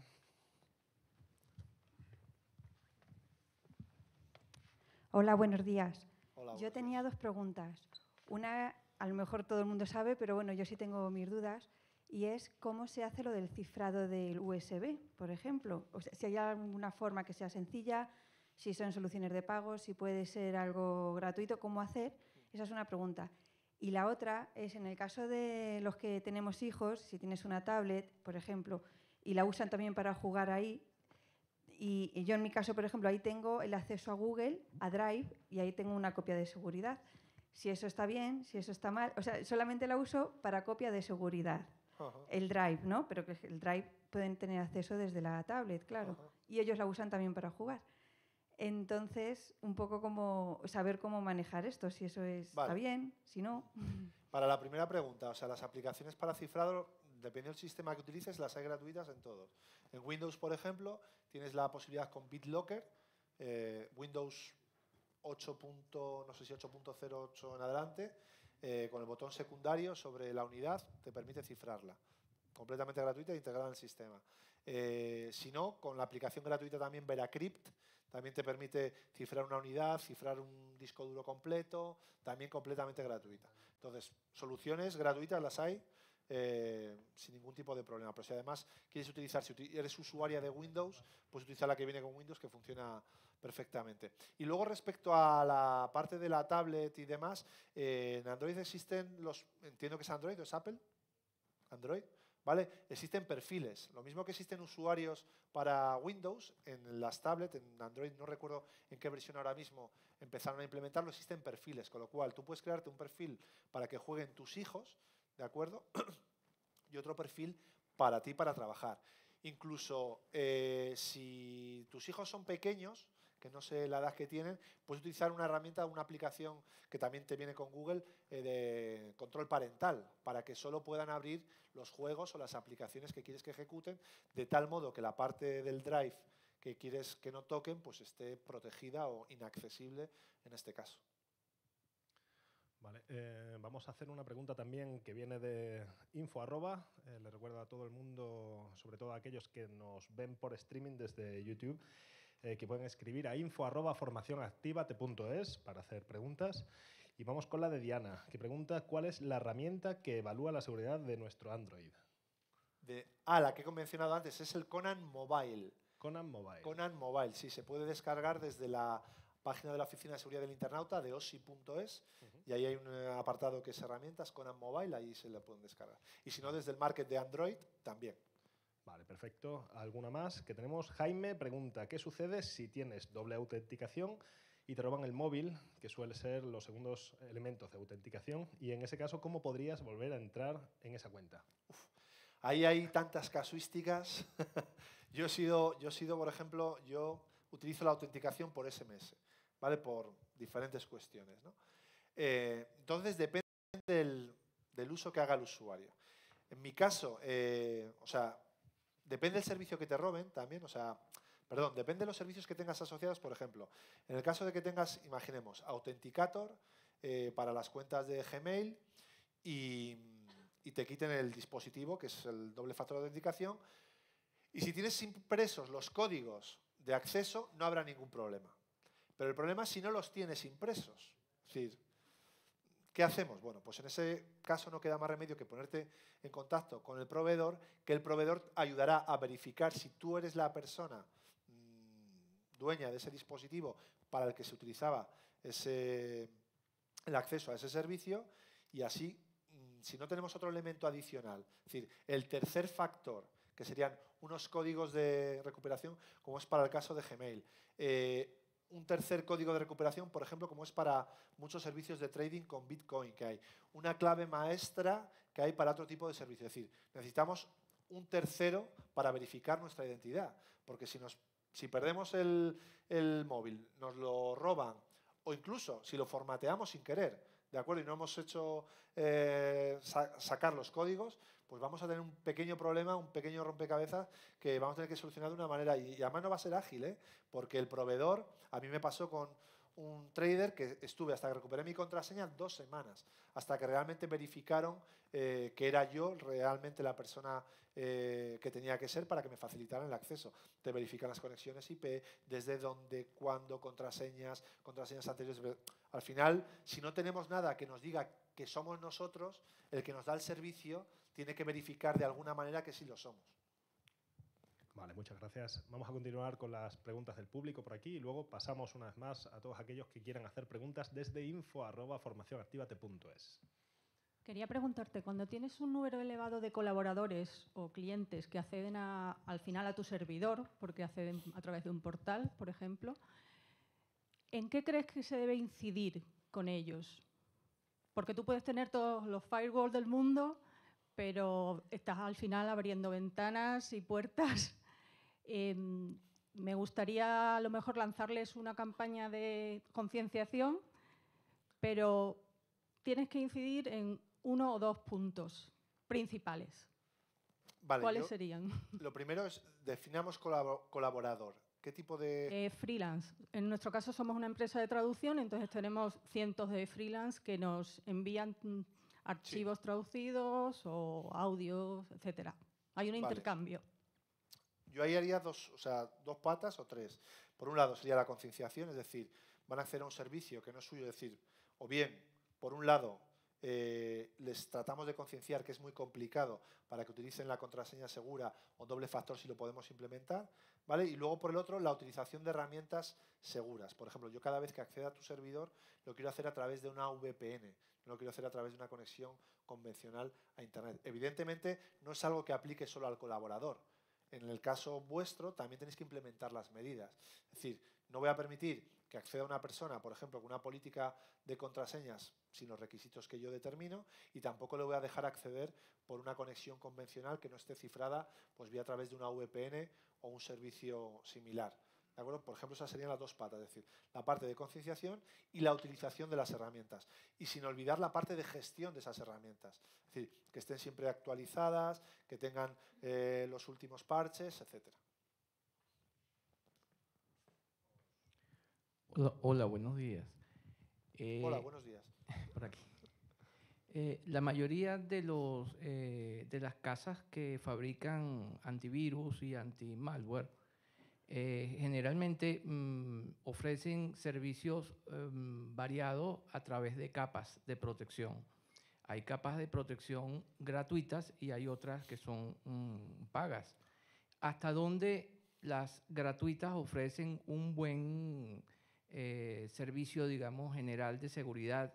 y, a- y cuándo hay que, eh, el usuario pues debe pensar en la posibilidad de, de- pagar, digamos, el servicio completo de, esa, de, esas, mm, de esas casas. Una parte. Por la otra parte, ¿qué, eh, ¿cuál es la mejor práctica, digamos, del uso de las VPN? Porque tengo dudas cuando mm, tú tienes, eh, navegas por el- la internet con el HTTPS, que ya eso, eh, esos certificados están certificando, valga la redundancia, que hay un cifrado de, punto a punto. El VPN no viene a, ser eh, redundante en, esos casos. Es que, bueno, eh, por parte, la primera, eh, al final las soluciones a día de hoy, las soluciones anti-malware, prácticamente casi todas las versiones o casi todas las compañías que ofrecen ese tipo de soluciones, la solución anti-malware la dan gratis por defecto. Donde aparecen cosas más interesantes es en lo que mencionabas de, pues por ejemplo, ahora están eh, implementando pues, soluciones anti-malware con protección anti-ransomware. Eso hay que pagarlo. ¿Por qué? Porque están viendo que es una línea de negocio que a ellos les puede venir muy bien. Evidentemente, ¿cuándo quieres pagar por esos servicios? Cuando realmente consideres que son necesarios. Yo si fuera un empresario, mm, veo la solución anti-malware, que es un antivirus convencional, vale, perfecto. ¿Quieres solución anti-ransom? Claro que la quiero. ¿Quiero eh, la posibilidad de utilizar em, firmas em, de tal proveedor que son mucho mejores? Pues también todo lo que sea aportarme nivel de seguridad. Luego hay algunas que también incluso vienen con solución en firewall y, y demás cosas. Bueno, evidentemente hay que hacer un análisis. Si yo ya en mi oficina tengo un firewall físico o implementado un firewall as a service en algún sitio y demás, pues igual eso no me interesa. Entonces, primero tenemos que hacer pues, un análisis de lo que tenemos, ver lo que queremos proteger y en función de eso pagar. ¿De acuerdo? Y luego en relación a la segunda parte, o sea, yo creo que son cosas diferentes. O sea, una cosa es que tú establezcas a través de una VPN un canal seguro sobre lo que es eh, una conexión segura, sobre lo que es un canal no seguro, como es Internet, para una transferencia de archivos, que era lo que hablaba con, con ella hace un momento. Y otra cosa es que eh, hagamos una conexión web a través de una página que utiliza un certificado. Puede ser que esos certificados sean homónimos para, establecer la conexión, pero el objeto es diferente. Por un lado es el ofrecer un servicio web y por el otro es abrir un canal que al del otro lado puede haber un servicio web, transferencia de archivos o lo que sea. Por ejemplo, si yo tengo un servidor VPN en un sitio que me da acceso a un servidor de aplicaciones y a una página web, lo primero que tengo que hacer es establecer esa conexión con ese servidor para poder acceder al otro marco de servicios que tenemos. Pero son cosas, aunque los certificados puedan ser TL TLS, SSL y demás también, son cosas que son complementarias, no son redundantes, por decirlo de alguna manera. Hola, buenos días. Buena ponencia. Mira, una Gracias. pregunta. Tú imagínate que una empresa pyme, para focalizarse en su actividad, decide que la infraestructura tecnológica esté en un hosting. Resuelve gran problema de acceso, disponibilidad, seguridad, etc.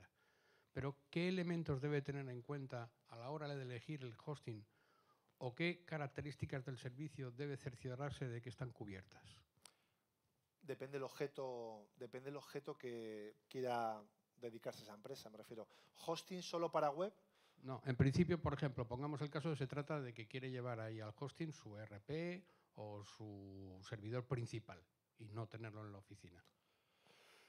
Que ahí hay, podríamos debatir durante mucho tiempo, porque realmente estamos hablando de, ya no sería un hosting, sería un housing, es decir, tiene que llevarse el servidor o los servidores que tiene la oficina, se los tiene que llevar a otro sitio. Allí, ¿quién lo va a administrar? ¿Lo administra la propia empresa o tenemos nuestro técnico que lo administra de manera remota allí?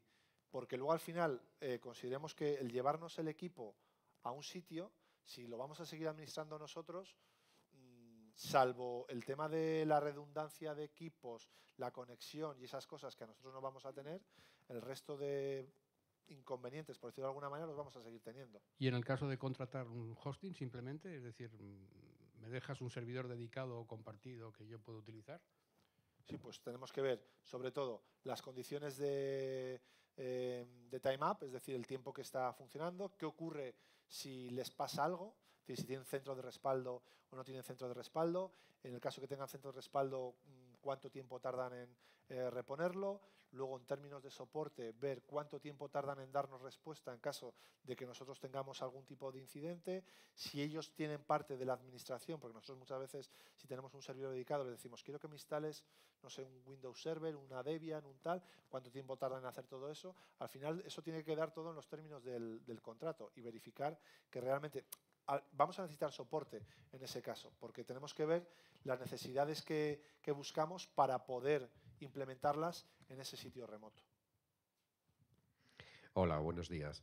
Eh, muchísimas gracias por, por la exposición y por toda la información que nos estás aportando.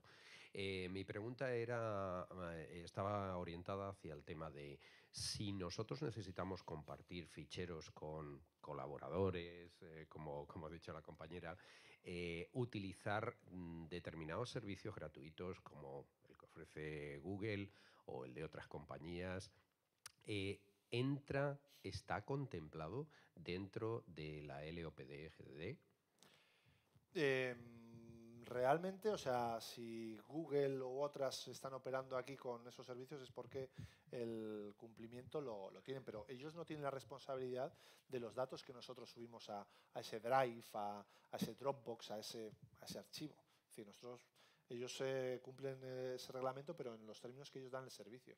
Pero si nosotros ponemos datos eh, en una cuenta de cualquier servicio que te da almacenamiento con una contraseña débil y demás, es decir, el que va a tener la responsabilidad va a ser el propietario de la cuenta. Porque si se demuestra que ha habido un acceso por una falta de robustez de las contraseñas o lo que sea, al final responsable es el propietario de la cuenta. Lo mismo que mucha gente me pregunta, dice, ¿qué confiabilidad tienen los proveedores de que los archivos que yo subo arriba no son leídos por, por, los proveedores que me dan el servicio? Bueno, pues ante la duda, ante la duda cifremos los archivos cuando los subamos y ahí no nos quedará duda ninguna, es decir, va a estar el archivo cifrado y no va a haber ningún tipo de problema. Otra solución para la que también estaría eh, o sería adecuada la cuestión que me, me planteabas. De nada. Vale, bueno, vamos ya para cerrar el turno de preguntas con dos preguntas más que han llegado a info. Eh, bien, por una parte, Rubén pregunta: ¿Cómo se llama la aplicación mostrada durante la charla para duplicar páginas web en Cali? vale, es el Social Engineering Toolkit, se llama, pero vamos, tampoco es algo que creo que tenga demasiada relevancia en este sentido. Y, o sea, no, no, fomenta. Aparte que eso, eso, por ejemplo, eso que estaba haciendo antes, eso, eso no es legal. Así como lo otro, la búsqueda de las direcciones web y demás, sí que, sí que son fuentes abiertas, eso otro no se debe hacer. ¿Vale? Porque eso estaríamos, o sea, suplantando a un servicio que no debemos hacer. Entonces, pero bueno, la herramienta es esa que menciona. Genial, muchas gracias. Esperemos que Rubén no tenga intenciones más allá. Y vamos, aquí lo hemos hecho todo con sí, sí, eh, sí. para tema educativo, absolutamente. Totalmente. y por otra parte tenemos a Julio, que pregunta desde Córdoba también. Eh, dice, a mi padre le llegan correos spam. El problema es que lo meto en la blacklist, pero estos tienen varios dominios y cada X tiempo cambian de dominio. ¿Qué puedo hacer? Y por otra parte dice, postdata, eh, no vale con cambiar la cuenta de correo, ya que ese correo es importante para comunicaciones con los ayuntamientos o policía que necesitan comunicarse con, con mi padre. Sí, es, es, un problemón. O sea, recuerdo una afirmación de, de, de, Bill Gates en el año 2004, creo que mencionaba que, en dos años el problema del spam estaría resuelto.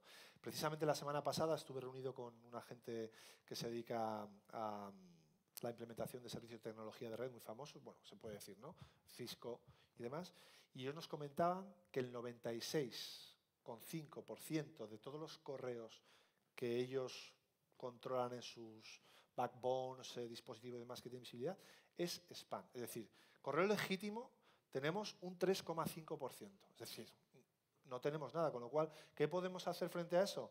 Pues seguir utilizando las reglas eh, que podamos eh, emplear para clasificar lo bueno de lo malo y efectivamente, es decir, lo que hacen los spammers o la gente que envía correo basura es cambiar el dominio, cambiar todas esas condiciones que tienen en cuenta los clientes de correo eh, para desechar o, o, no desechar un correo electrónico, pues las aprovechan para que sus correos sean leídos. Pero lamentablemente el spam es un problema que es muy complicado de, de, de atajar. Bien, pues muchísimas gracias. Eh, un aplauso enorme. Muchísimas gracias. Te dejo, te dejo ahí el sincero. Bueno, Marco Antonio, ha sido una ponencia excelente. Muchas gracias tanto a ti como a todos los asistentes y a todas aquellas personas que nos están viendo eh, por streaming. Bien, me gustaría cerrar eh, este, este evento, este taller, esta formación, ya eh, pues bueno, entrando de nuevo en la plataforma para poder descargar el certificado para hacer un formulario y para un poquito más, ¿vale?